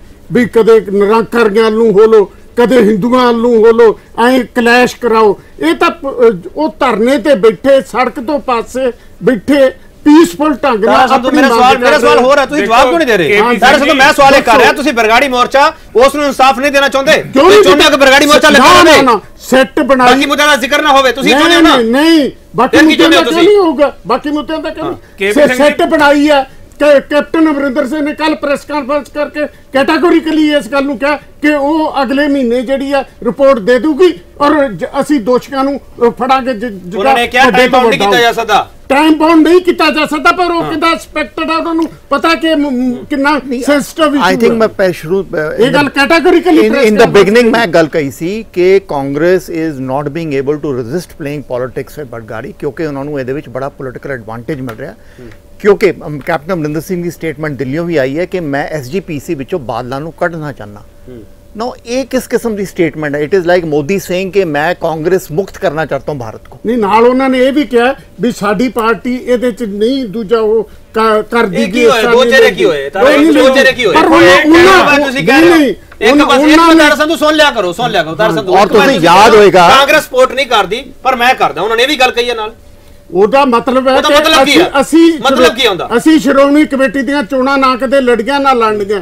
ਇੱਕ ਸੈਕੂਲਰ ਪਾਰਟੀ ਹੈ। ਪਰ ਇਹ ਇੱਕ ਪੰਜਾਬ ਦੇ ਲੋਕਾਂ ਦੀ ਭਾਵਨਾ ਬਣ ਗਈ ਕਿ ਇਹ ਜਿਹੜੇ ਸਿੱਖ ਇੰਸਟੀਚਿਊਸ਼ਨ ਆ ਇਹ ਬਾਦਲ ਪਰਿਵਾਰ ਦੀ ਜਕੜ ਤੋਂ ਮੁਕਤ ਕਰਾਏ ਜਾਣ। ਦੇਖੋ ਜੀ, ਕੈਪਟਨ ਸਾਹਿਬ ਦਾ ਇਹ ਕਹਿਣਾ- ਆਈ ਥਿੰਕ ਇਹ ਥੋੜਾ ਜਿਹਾ ਮਿਸਸ ਕੈਪਟਨ ਸਾਹਿਬ ਦਾ ਇਹ ਕਹਿਣਾ ਕਿ ਐਸਜੀਪੀਸੀ ਦੀ ਇਲੈਕਸ਼ਨ ਉਹਨਾਂ ਨੂੰ ਮੁਕਤ ਕਰਾਂਗੇ ਉਹ ਚ ਕੋਈ ਮਾੜੀ ਗੱਲ ਨਹੀਂ ਹੈ। ਹਰ ਇੱਕ ਵਿਅਕਤੀ ਨੂੰ ਹੱਕ ਹੈ ਡੈਮੋਕ੍ਰੈਟਿਕ ਤਰੀਕੇ ਨਾਲ ਐਸਜੀਪੀਸੀ ਨੇ ਚੋਣਾਂ ਲੜਨ ਦਾ। ਐਸਜੀਪੀਸੀ ਇੱਕ ਸਿੱਖਾਂ ਦੀ? ਸਰਵਉੱਚ ਧਾਰਮਿਕ? ਸੰਸਥਾ ਆ ਨਹੀਂ ਅਸੀਂ? ਲੜੀਏ ਨਾ ਲੜੀਏ ਬਾਅਦ ਦੀ ਗੱਲ ਅਸੀਂ ਦੇਖਾਂਗੇ। ਕਰਾਂਗੇ ਪਰ ਇਹ ਕਰੋ ਨਾ, ਪਰਿਵਾਰ ਦੀ ਕਰੋ ਜ਼ਮੀਰ। ਨਹੀਂ ਹੈਗੀ ਦੇਖੋ, ਇੱਕ ਮਿੰਟ, ਪਰਿਵਾਰ ਨੇ ਪਤਾ ਨਹੀਂ ਲਿਖਾਇਆ ਹੋਇਆ KP ਜੀ, ਜਾਂ 2000 ਸ਼੍ਰੋਮਣੀ ਅਕਾਲੀ ਦਲ ਦਾ ਨਹੀਂ ਹੈਗਾ 2002 ਵਿੱਚ- ਚੋਣਾਂ ਦੇ ਵਿੱਚ ਜਿੱਤ ਜਾਣ ਵੱਖਰੀ ਗੱਲ ਹੈ 2002 ਉਹ ਕੋਈ ਵੀ ਲੜ ਵਿੱਚ ਹੈ। ਕੈਪਟਨ ਅਮਰਿੰਦਰ ਵੱਖਰੀ ਗੱਲ ਹੈ ਦੱਸੋ 2002 ਨਹੀਂ, ਵਿੱਚ ਵਿਸ਼ਵਾਸ ਕਿਸ right ਹੈ ਉਹ ਗੱਲ ਜਿਹੜੀ ਕਹਿ ਰਹੇ ਡੈਮੋਕ੍ਰੇਟ। ਠੀਕ ਹੈ ਥਰੂ VOTING ਜੇ ਕੋਈ ਜਿੱਤਦੇ ਤੇ ਉਹ ਵੱਖਰੀ ਗੱਲ ਹੈ ਇਹਦਾ ਕੀ. ਮਤਲਬ ਹੋਇਆ 2002 ਵਿੱਚ ਜਦ ਕੈਪਟਨ ਅਮਰਿੰਦਰ ਸਿੰਘ ਪਾਵਰ 'ਚ ਆਏ ਸੀ ਇਹਨਾਂ ਨੇ ਸਭ ਤੋਂ ਵੱਡੀ ਪੋਲੀਟੀਕਲ ਮੂਵ ਕੀਤੀ ਐਸਜੀਪੀਸੀ ਇਲੈਕਸ਼ਨਸ ਨੂੰ ਮੈਨੀਪੂਲੇਟ ਕਰਨ ਦੀ ਐਸਜੀਪੀਸੀ ਮੈਂਬਰਸ ਔਰ ਕੈਂਡੀਡੇਟਸ ਦੇ ਘਰ ਦੇ ਵਿੱਚ ਬੱਚਿਆਂ ਨੂੰ ਜਾ ਕੇ ਇੰਪ੍ਰਿਜ਼ਨ ਕੀਤਾ ਉਹਨਾਂ ਦੇ ਸਾਰੇ ਮੈਂਬਰਸ ਬਾਲਾਸਰ ਜਾ ਕੇ ਬੈਠੇ ਸੀਗੇ ਔਰ ਉਹ ਸਾਰੀ ਕੈਪਟਨ ਅਮਰਿੰਦਰ ਸਿੰਘ ਔਰ ਰਵੀ ਇੰਦਰ ਸਿੰਘ ਦੀ ਸਾਜ਼ਿਸ਼ ਸੀਗੀ ਕਿ ਮੈਂ ਅਸੀਂ ਐਸਜੀਪੀਸੀ ਵਿੱਚੋਂ ਬਾਦਲਾਂ ਨੂੰ ਹਟਾਈਏ ਇੱਕ ਪਾਸੇ ਆਪਣੇ ਆਪ ਨੂੰ ਸ- ਨਾ ਦੱਸੋਗੇ ਵੀ ਜਿਹੜਾ ਸ- ਕਾਂਗਰਸ ਪਾਰਟੀ ਵੱਲੋਂ ਜਾਂ ਕੈਪਟਨ ਅਮਰਿੰਦਰ ਸਿੰਘ ਨਹੀਂ ਉਹੀ ਤਾਂ ਮੈਂ ਕਹਿ ਰਿਹਾ ਮੈਂ ਉਹੀ ਤਾਂ ਕਹਿ ਰਿਹਾ ਤੁਹਾਡੀ it was a double face election ਨਹੀਂ ਸੀ। ਦੇਖੋ ਸਿਮਰਨਜੀਤ ਉਹ ਸਿੰਘ ਪ੍ਰਧਾਨ ਮਾਨ ਦੀ ਨੇ ਇਲੈਕਸ਼ਨ ਦੀਆਂ ਇਲੈਕਸ਼ਨ ਚੋਣਾਂ ਸੀ। ਨਹੀਂ ਮੈਂਬਰ ਤੁਹਾਡੀ ਕੈਪਟਨ ਅਮਰਿੰਦਰ ਸਿੰਘ ਦੀ ਗਵਰਨਮੈਂਟ ਨੇ ਇੰਟਰਫੇਅਰ ਕਿੰਨਾ ਕੀਤੇ। ਸੀ। ਇਹ ਦੱਸੋ। ਵਿਕਰਮ ਜੀ ਟੌੜਾ ਸਾਹਿਬ ਨੇ ਬੰਦੇ ਖੜੇ ਕੀਤੇ ਮੈਂਬਰ ਸੀ। ਉਦੋਂ। ਇਲੈਕਸ਼ਨ ਲੜ ਚੁੱਕੇ ਸੀਗੇ। ਜੋ ਮੈਂਬਰਾਂ ਨੇ ਪ੍ਰਧਾਨ ਚੁਣਨਾ ਸੀ ਪ੍ਰਧਾਨ ਉੱਥੇ 골ਡਨ ਟੈਂਪਲ ਚ ਤੁਹਾਡੀ ਪੰਜਾਬ ਪੁਲਿਸ ਨੇ- ਪੰਜਾਬ ਪੁਲਿਸ ਕਰ ਦੇਣਾ ਨੇ ਤੁਹਾਡੇ ਰੋਲ ਸਵਾਲ ਸਿੱਧਾ ਕਰ? ਦੇਣਾ ਸਵਾਲ ਸਿੱਧਾ ਕਰ ਦੇਣਾ ਵਿਕਰਮਜੀਤ। ਪੰਜਾਬ ਨੂੰ ਖਤਰਾ ਜਾਂ ਪੰਥ ਨੂੰ ਖਤਰਾ? ਦੇਖੋ ਪੰਜਾਬ ਨੂੰ ਤਾਂ ਖਤਰਾ ਹੈ ਔਰ ਰਹੇਗਾ ਕਿਉਂਕਿ ਆਈਐਸਆਈ ਦੀ ਗੇਮ ਪਲਾਨ ਹੈ ਔਰ ਪੰਜਾਬ ਵਿੱਚ ਵੀ ਐਸੀ ਕੁਝ ਫੋਰਸਸ ਨੇ। ਤੁਸੀਂ ਦੇਖੋ ਪੰਜਾਬ ਵਿੱਚ ਜਿਹੜੀ ਪਹਿਲੀ ਵਾਇਲੈਂਸ ਹੋਈ ਸੀ 1978 ਦੇ ਬਾਅਦ ਆਫਟਰ ਫਾਇਰਿੰਗ ਐਟ ਪਿੰਡਰਾਵਾਲੇ ਦੇ ਸਪੋਰਟਰ ਨਿਰੰਕਾਰੀ ਮਰੇ ਸੀ ਐਂਡ ਆਲ ਦੈਟ ਉਹਦੇ ਵਿੱਚ ਵੀ ਕਾਂਗਰਸ ਦਾ ਰੋਲ ਬਹੁਤ ਹੀ ਕੰਟਰੋਵਰਸ਼ੀਅਲ ਰਿਹਾ ਸੀ। ਪਿੰਡਰਾਵਾਲੇ ਨੇ ਕਿੰਨੂੰ ਹੂ ਸਪਾਂਸਰਡ ਪਿੰਡਰਾਵਾਲੇ? ਪਿੰਡਰਾਵਾਲੇ ਨੂੰ ਕਿੰਨੇ ਅਰੈਸਟ ਨਹੀਂ ਕਰਵਾਉਣ ਦਿੱਤਾ? ਹਰਮੰਦਰ ਸਾਹਿਬ ਕਿਹਨੂੰ ਉਹਨੂੰ ਸ਼੍ਰੇ ਦਿੱਤਾ? ਇਹ ਕਿਸ ਪੋਲੀਟੀਕਲ ਪਾਰਟੀ ਦੀ ਸਾਰੀ ਪ੍ਰੋਬਲਮ ਸੀਗੀ? ਹਰਮੰਦਰ ਸਾਹਿਬ ਦੇ ਇਹ ਅਕਾਲੀ ਦਲ ਦਾ, ਨਹੀਂ, ਨਹੀਂ। ਸ਼੍ਰੋਮਣੀ ਕਮੇਟੀ ਇਹ। I ISI? ਕੁਝ ਨਹੀਂ ਕਰ ਸਕਦੀ। ਨਹੀਂ, ਇਹ- ਤੁਹਾਡੀ ਆਪਣੀ ਕਾਂਗਰਸ ਦੀ ਪ੍ਰੋਬਲਮ ਸੀਗੀ। ਇਹਨਾਂ ਨੇ ਅਕਾਲੀਆਂ ਨੂੰ ਤੋੜਨ ਜੀ ਮੈਂ ਬ੍ਰੇਕ ਲੈਣੀ ਬ੍ਰੇਕ ਤੋਂ ਪਹਿਲਾਂ ਇੱਕ ਸਵਾਲ ਕਰਨਾ ਚਾਹੂੰਗਾ। ਸਿਆਸੀ ਏਜੰਡੇ ਨੂੰ ਖਤਰਾ? ਸਿਆਸੀ ਏਜੰਡੇ ਨੂੰ ਬਿਲਕੁਲ ਖਤਰਾ ਔਰ ਇਹਦੇ ਵਿੱਚ ਬਾਦਲਸ ਨੂੰ ਕਾਫੀ ਪ੍ਰੋਬਲਮ ਪੈ ਰਹੀ ਹੈ ਇੱਕ ਹੋਰ ਛੋਟਾ ਬ੍ਰੇਕ ਲਵਾਂਗੇ ਬ੍ਰੇਕ ਤੋਂ ਵਾਪਸ ਆਵਾਂਗੇ। ਆਖਰੀ ਹਿੱਸੇ ਵਿੱਚ ਅਸੀਂ ਹੋਵਾਂਗੇ। ਬਿਲਕੁਲ ਤਾਰਾ ਸੰਧੂ ਮੈਂ ਆ ਰਿਹਾ ਤੁਹਾਡੇ ਕੋਲੇ। ਪੰਜ ਪੰਜਾਬ ਦੇ ਵਿੱਚ ਕਿਹੜਾ ਖਤਰਾ ਹੈ? ਕਾ ਪੰਜਾਬ ਦੇ ਵਿੱਚ ਪੋਲੀਟੀਕਲੀ ਜਿਹੜਾ ਡੈਮੇਜ ਕੰਟਰੋਲ ਕਰਨ ਦੀ ਕੋਸ਼ਿਸ਼ ਕੀਤੀ ਜਾ ਰਹੀ ਹੈ ਇਹ ਸਾਰੇ ਮੁੱਦਿਆਂ ਨੂੰ ਉਭਾਰ ਕੇ ਜਾਂ ਪੰਜਾਬ ਵਿੱਚ ਵਾਕਈ ਖਤਰਾ ਹੈਗਾ। ਅਸੀਂ ਇਸੇ ਚਰਚਾ ਕਰ ਰਹੇ ਹਾਂ। ਹਾਲਾਂਕਿ ਇਸ ਚਰਚਾ ਦੇ ਵਿੱਚੋਂ ਜਿਹੜੇ ਸੁਰੱਖਿਆ ਨਾਲ ਜੁੜੇ ਅਹਿਮ ਬਿੰਦੂ ਹੈਗੇ ਆ ਅਸੀਂ ਉਹਨਾਂ ਨਾਲ ਤੁਹਾਨੂੰ ਸਾਂਝੇ ਨਹੀਂ ਕਰ ਸਕਦੇ ਕਿ ਕਿਉਂਕਿ ਇਹ ਸੂਬੇ ਦੀ, ਦੇਸ਼ ਦੀ ਸਿਕਿਉਰਿਟੀ ਦਾ ਮਸਲਾ ਹੈਗਾ, ਪਰ ਕਈ ਜਿਹੜੇ ਬਿੰਦੂ ਹੈਗੇ ਆ, ਜਿਹੜਾ ਸਿਆਸਤ ਏਜੰਡਾ ਬਣਾਉਂਦੀ ਆ, ਅਸੀਂ ਉਹਨਾਂ ਬਿੰਦੂਆਂ ਤੇ ਚਰਚਾ ਜ਼ਰੂਰ ਕਰ ਸਕਦੇ ਹਾਂ ਬ੍ਰੇਕ ਤੋਂ ਵਾਪਸ ਆ ਰਹੇ ਹਾਂ। ਕਿ ਅਕਾਲੀ ਭਾਜਪਾ ਪੰਜਾਬ ਦੇ ਗਵਰਨਰ ਤੱਕ ਕਿਹੜੇ ਖਤਰੇ ਦੇ ਖਦਸ਼ੇ ਲੈ ਕੇ ਪਹੁੰਚੇ? ਤਾਰਾ ਸੰਧੂ, ਤੁਸੀਂ ਕੀ ਕਹਿਣਾ ਚਾਹ ਰਹੇ ਹੋ? ਮੈਂ ਇਹ ਕਹਿਣਾ ਚਾਹੁੰਦਾ ਜੀ ਕਿ ਇਹ ਜਿਹੜੀ ਵਿਕਰਮ ਜੀ ਇਲਜ਼ਾਮ ਲਾ ਰਿਹਾ ਕਾਂਗਰਸ ਤੇ ਮੋਰਚਾ ਲੱਗਾ ਸੀ ਕਪੂਰੀ ਚ ਪਾਣੀਆਂ ਦਾ ਨੰਬਰ 1 ਉਹ ਮੋਰਚਾ ਚੱਕ ਕੇ ਚੰਡੀਗੜ੍ਹ ਆਇਆ ਪੰਜਾਬ ਦੀ ਅਸੈਂਬਲੀ ਕਰੀ ਉੱਥੇ ਸੀਪੀਐਮ ਨਾਲ ਸੀ ਇੱਥੇ ਸੀਪੀਆਈ ਨਾਲ ਸੀਗੀ ਜਦੋਂ ਕਰੀ ਸੰਤ ਹਰਚੰਦ ਸਿੰਘ ਲੌਂਗੋਵਾਲ ਦੀ ਗਵਾਹੀ ਦੇ ਵਿੱਚ। ਫੇਰ ਅਕਾਲੀ ਦਲ ਚ ਰੌਲਾ ਪਿਆ ਵੀ ਨਹੀਂ ਇਹਨੂੰ ਧਰਮ ਯੁੱਧ ਮੋਰਚੇ ਦਾ ਨਾਂ ਦਿਓ। ਧਰਮ ਯੁੱਧ ਮੋਰਚੇ ਦਾ ਨਾਂ ਦੇ ਕੇ ਵਿਕਰਮ ਜੀ ਸ਼੍ਰੀ ਅਕਾਲ ਤਖਤ ਸਾਹਿਬ ਤੋਂ ਜਥੇ ਤੋਰਨੇ ਸ਼ੁਰੂ ਕੀਤੇ ਸੀ। ਉਹਦੇ ਵਿੱਚ ਹੀ ਸੰਤ ਲੌਂਗੋਵਾਲ ਵੀ ਬੋਲਦੇ ਸੀ ਉੱਥੇ ਹੀ ਸੰਤ ਜਰਨੈਲ ਸਿੰਘ ਪਿੰਡਰਾਂ ਵਾਲਾ ਬੋਲਦੇ ਸੀ। ਤਾਰਾ ਸੰਧੂ ਮੈਂ ਸਵਾਲ ਤੁਹਾਨੂੰ ਸਿੱਧਾ ਕਰ ਦੇਣਾ ਤਾਰਾ ਸੰਧੂ। ਜੀ। 1984 ਸਿੱਖ ਨਸਲਕੁਸ਼ੀ ਤੁਹਾਡੇ ਤੇ ਬਹੁਤ ਵੱਡਾ ਕਲੰਕ ਹੈ। ਬਿਲਕੁਲ। ਹੁਣ ਉਸ ਕਲੰਕ ਨੂੰ ਤੁਸੀਂ ਲਾ ਤਾਂ ਸਕਦੇ ਨਹੀਂਗੇ। ਹੁਣ ਤੁਸੀਂ ਇਸ ਮੁੱਦੇ ਤੇ ਬਰਗਾੜੀ ਦੇ ਮੁੱਦੇ ਤੇ ਤੁਸੀਂ ਅਕਾਲੀ ਦਲ ਨੂੰ ਘੇਰ ਕੇ ਰੱਖਣਾ ਚਾਹੁੰਦੇ ਹੋ। ਇਹ ਵੀ ਸੱਥਾਂ ਦੇ ਵਿੱਚ ਗੱਲਾਂ ਚੱਲ ਰਹੀਆਂ ਇਸ ਦਾ ਜਵਾਬ ਹੈ ਤੁਹਾਡੇ ਕੋਲ। ਤੁਸੀਂ ਮੈਨੂੰ ਐਂ ਦੱਸੋ ਜੀ 2015 ਦਾ ਇਨਸੀਡੈਂਟ ਹੁੰਦਾ। ਔਰ 17 ਤੱਕ ਇਹਨਾਂ ਦੀ ਸਰਕਾਰ ਜਿਹੜੀ ਪੰਥਕ ਸਰਕਾਰ ਹੁੰਦੀ ਆ ਉਹ ਪੰਥ ਵਾਲੇ ਇਸ਼ੂ ਤੇ ਕੋਈ ਸਟੈਪ ਨਹੀਂ ਤੁਸੀਂ। ਫੈਸਲਾ ਕਰ ਦਿਓ ਨਾ ਤੁਸੀਂ ਇਨਸਾਫ ਦੇ ਦਿਓ ਤੁਸੀਂ ਇਹ ਮੋਰਚਾ ਖਤਮ ਕਰੋ ਨਾ। ਉਹਨਾਂ ਜਾ ਕੇ ਗੱਲ ਕਰੋ ਤੁਸੀਂ। ਤਾਂ ਗੱਲਬਾਤ ਤੋਂ ਪਿੱਛੇ ਹਟ ਗਏ ਹੋ। ਤੁਸੀਂ ਇੱਕ ਪਾਸੇ ਜਾਂਦੇ ਹੋ ਦੂਜੇ ਪਾਸੇ ਨਹੀਂ ਜਾਂਦੇ ਤੁਸੀਂ। ਤੁਸੀਂ ਕਿਤੇ 84 ਨਹੀਂ ਫੈਸਲਾ। ਕਰੋ ਨਾ ਸਾਰਾ। 84 ਫੈਸਲਾ ਦਾ। ਇਨਸਾਫ ਦੇ ਰਹੇ ਹੋ। ਸਦਾ ਤਰਪਤ ਰਿੰਦ ਜੀ ਦੇ ਸੇ ਬਾਜਵਾ ਉਹਨਾਂ ਸਾਰਿਆਂ ਨਾਲ ਮਿਲ ਕੇ ਹੀ ਆਏ ਆ। ਹਾਂ ਮੈਂ ਮੈਂ ਨਹੀਂ ਚਾਹੁੰਦਾ ਮੈਂ ਨਹੀਂ ਚਾਹੁੰਦਾ ਦੋਨੋਂ ਮੁੱਦਿਆਂ ਨੂੰ ਰਲਾਇਆ ਜਾਵੇ ਪਰ ਲੋਕ ਇਹ ਗੱਲਾਂ ਕਰਨ ਲੱਗ ਪਏ ਆ। ਤੁਸੀਂ ਨਹੀਂ। 84 ਦਾ ਇਨਸਾਫ ਹੀ ਦੇ ਦਿਓ।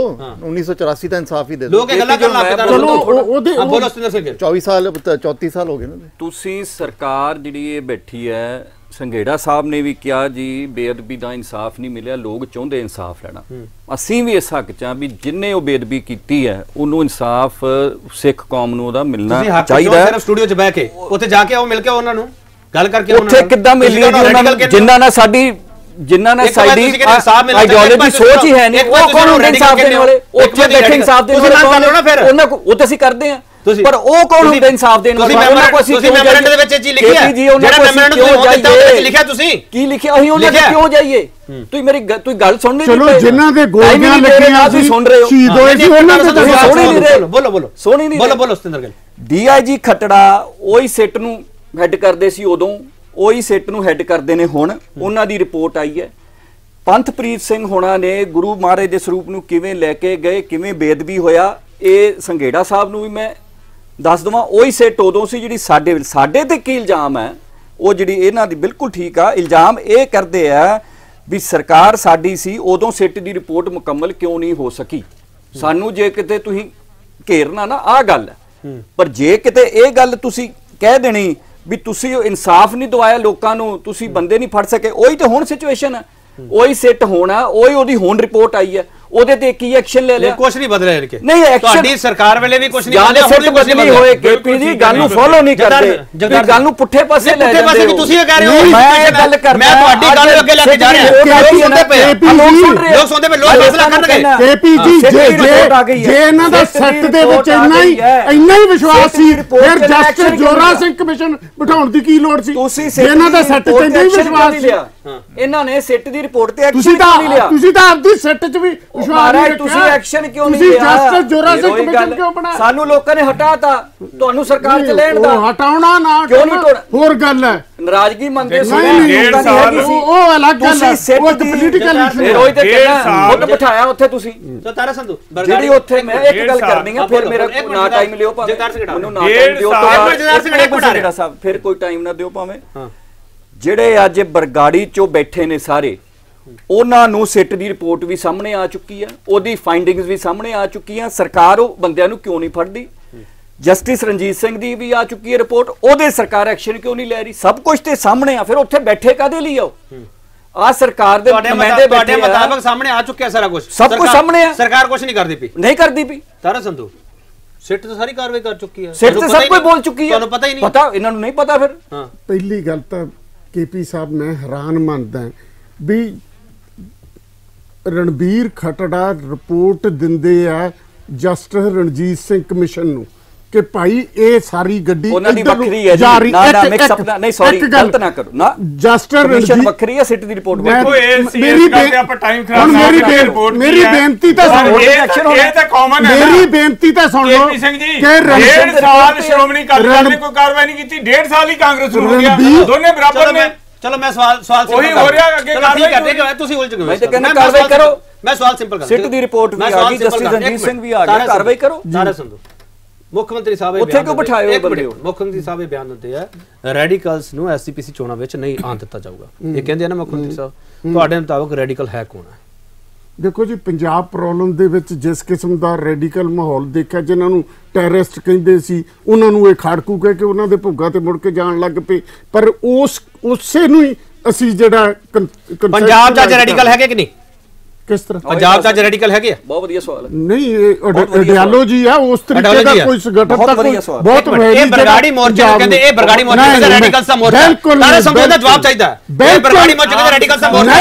ਤੁਸੀਂ ਉਹਨੂੰ ਰੈਡੀਕਲ ਕਹਿੰਦੇ ਹੋ ਕੀ ਕਹਿੰਦੇ ਹੋ? ਨਹੀਂ ਰੈਡੀਕਲ ਨਹੀਂ radical ਨਹੀਂ ਰੈਡੀਕਲ ਨਹੀਂ ਜਿੱਥੇ ਖਾਲਿਸਤਾਨ ਦੇ ਨਾਰੇ ਲੱਗਣ ਉਹ ਕੀ ਹੈ ਜੀ? ਨਹੀਂ। ਜਗਤਾਰ ਸਿੰਘ ਖਾਲਿਸਤਾਨ ਇੱਕ ਇੰਡੀਪੈਂਡੈਂਟ ਸਟੇਟ ਦੀ ਸਾਰੇ ਮੰਗ ਹੈ। ਨਾਰੇ ਲੱਗ ਰਹੇ ਖਾਲਿਸਤਾਨ ਦੇ। ਉਹ ਕੀ ਹੈ? ਇੱਕ ਮਿੰਟ ਮੈਂ ਇੱਕ ਮਿੰਟ ਮੈਂ ਮੰਨਦਾ ਤੁਹਾਡੀ ਗੱਲ, ਬਿਲਕੁਲ। ਕੇਪੀ ਜੀ ਮੈਨੂੰ ਬੋਲੋ। ਕੇਪੀ ਜੀ, ਖਾਲਿਸਤਾਨ ਦੇ ਨਾਅਰੇ ਲੱਗਣ, ਇੱਕ- ਇੱਕ ਉਹ ਕੀ ਹੈ? ਗਿੱਲ ਸਾਹਿਬ ਉੱਥੇ ਜਿਹੜੇ ਪੰਜਾਬ ਦੇ ਸਟੂਡੈਂਟ ਮੂਵਮੈਂਟ ਤੋਂ ਮੈਂ ਲੈ ਕੇ ਕਿਹਾ ਜੀ, ਜਿਹੜਾ ਖਾਲਿਸਤਾਨ ਦੇ ਬੰਦੇ ਲੱਗ ਰਹੇ ਉੱਥੇ। ਬੋਲ ਕੇ ਆਏ ਆ ਖਾਲਿਸਤਾਨ ਕੀ ਹੈ ਫਿਰ? ਇੱਕ ਬੰਦੇ ਦੇ ਖਾਲਿਸਤਾਨ ਕੀ ਹੈ ਫਿਰ? ਖਾਲਿਸਤਾਨ ਦਾ ਨਾਰਾ ਲਾਉਣ ਨਾਲ ਉੱਥੇ ਖਾਲਿਸਤਾਨ ਬਣ ਗਿਆ ਖਾਲਿਸਤਾਨ ਕੀ ਹੈ ਫਿਰ? ਜਾਂ ਸਾਰੇ ਬਰਗਾੜੀ ਵਾਲੇ ਖਾਲਿਸਤਾਨ ਕੀ ਹੈ ਫਿਰ? ਚਲੋ ਇੱਕ ਮਿੰਟ ਇੱਕ। ਮਿੰਟ ਇੱਕ ਮਿੰਟ ਇੱਕ ਮਿੰਟ ਖਾਲਿਸਤਾਨ ਕੀ ਹੈ ਫਿਰ? ਇਦਾਂ ਕਿਸੇ ਉਹਨਾਂ ਇਦਾਂ ਕਿਸੇ ਨੂੰ ਸਮਝ ਨਹੀਂ ਆਉਂਦਾ ਇਦਾਂ ਕਿਸੇ ਨੂੰ ਨਹੀਂ ਸਵਾਲ ਹੈ ਏਦਾਂ ਕਿਸੇ ਨੂੰ ਕੀ ਕਰਦੇ ਉਹ ਖਾਲਿਸਤਾਨ ਦੀ ਮੰਗ ਇਦਾਂ ਕਰਦੇ ਕਿਸੇ ਨੂੰ ਸਮਝ ਨਹੀਂ ਬੰਦੇ ਦੋ ਤਾਰਾ ਨਹੀਂ।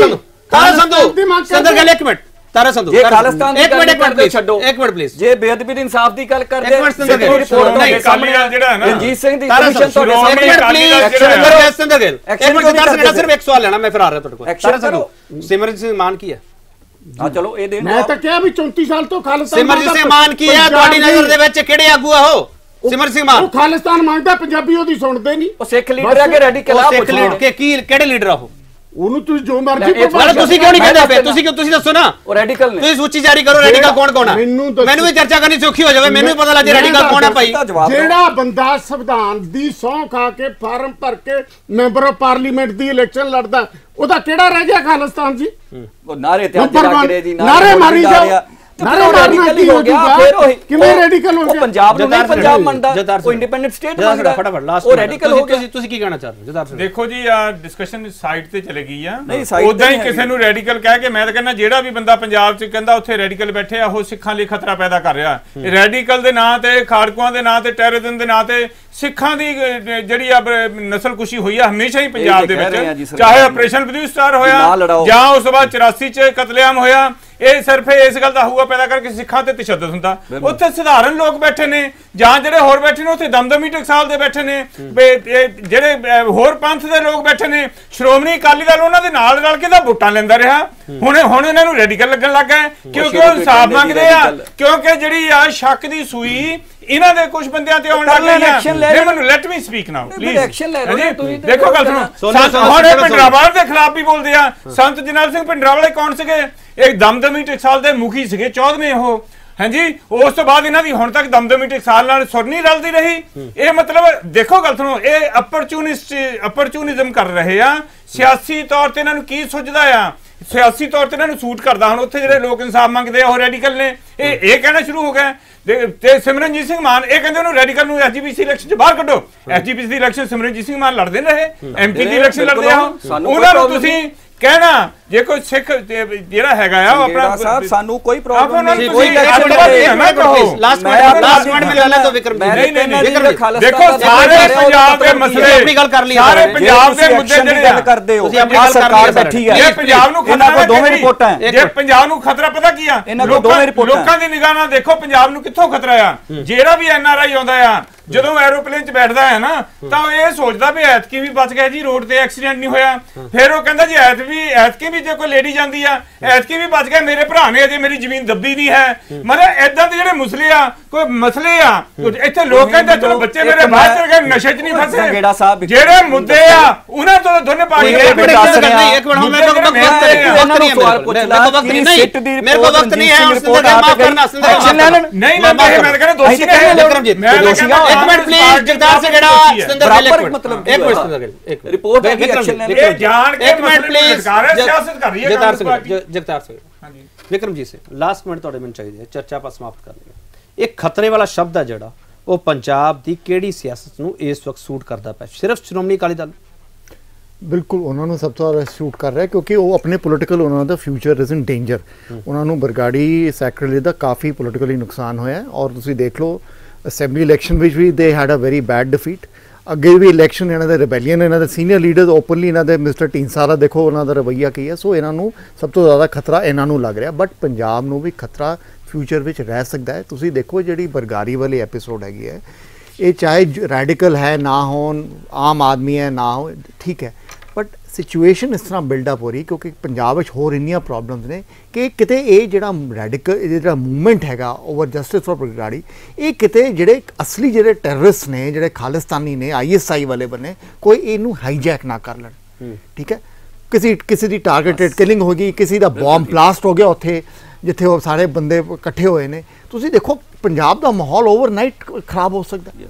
So we should be very careful ਇਹ justice is very much there ਤਲਵਾਰ ਲਟਕਾਈ ਰੱਖੋ।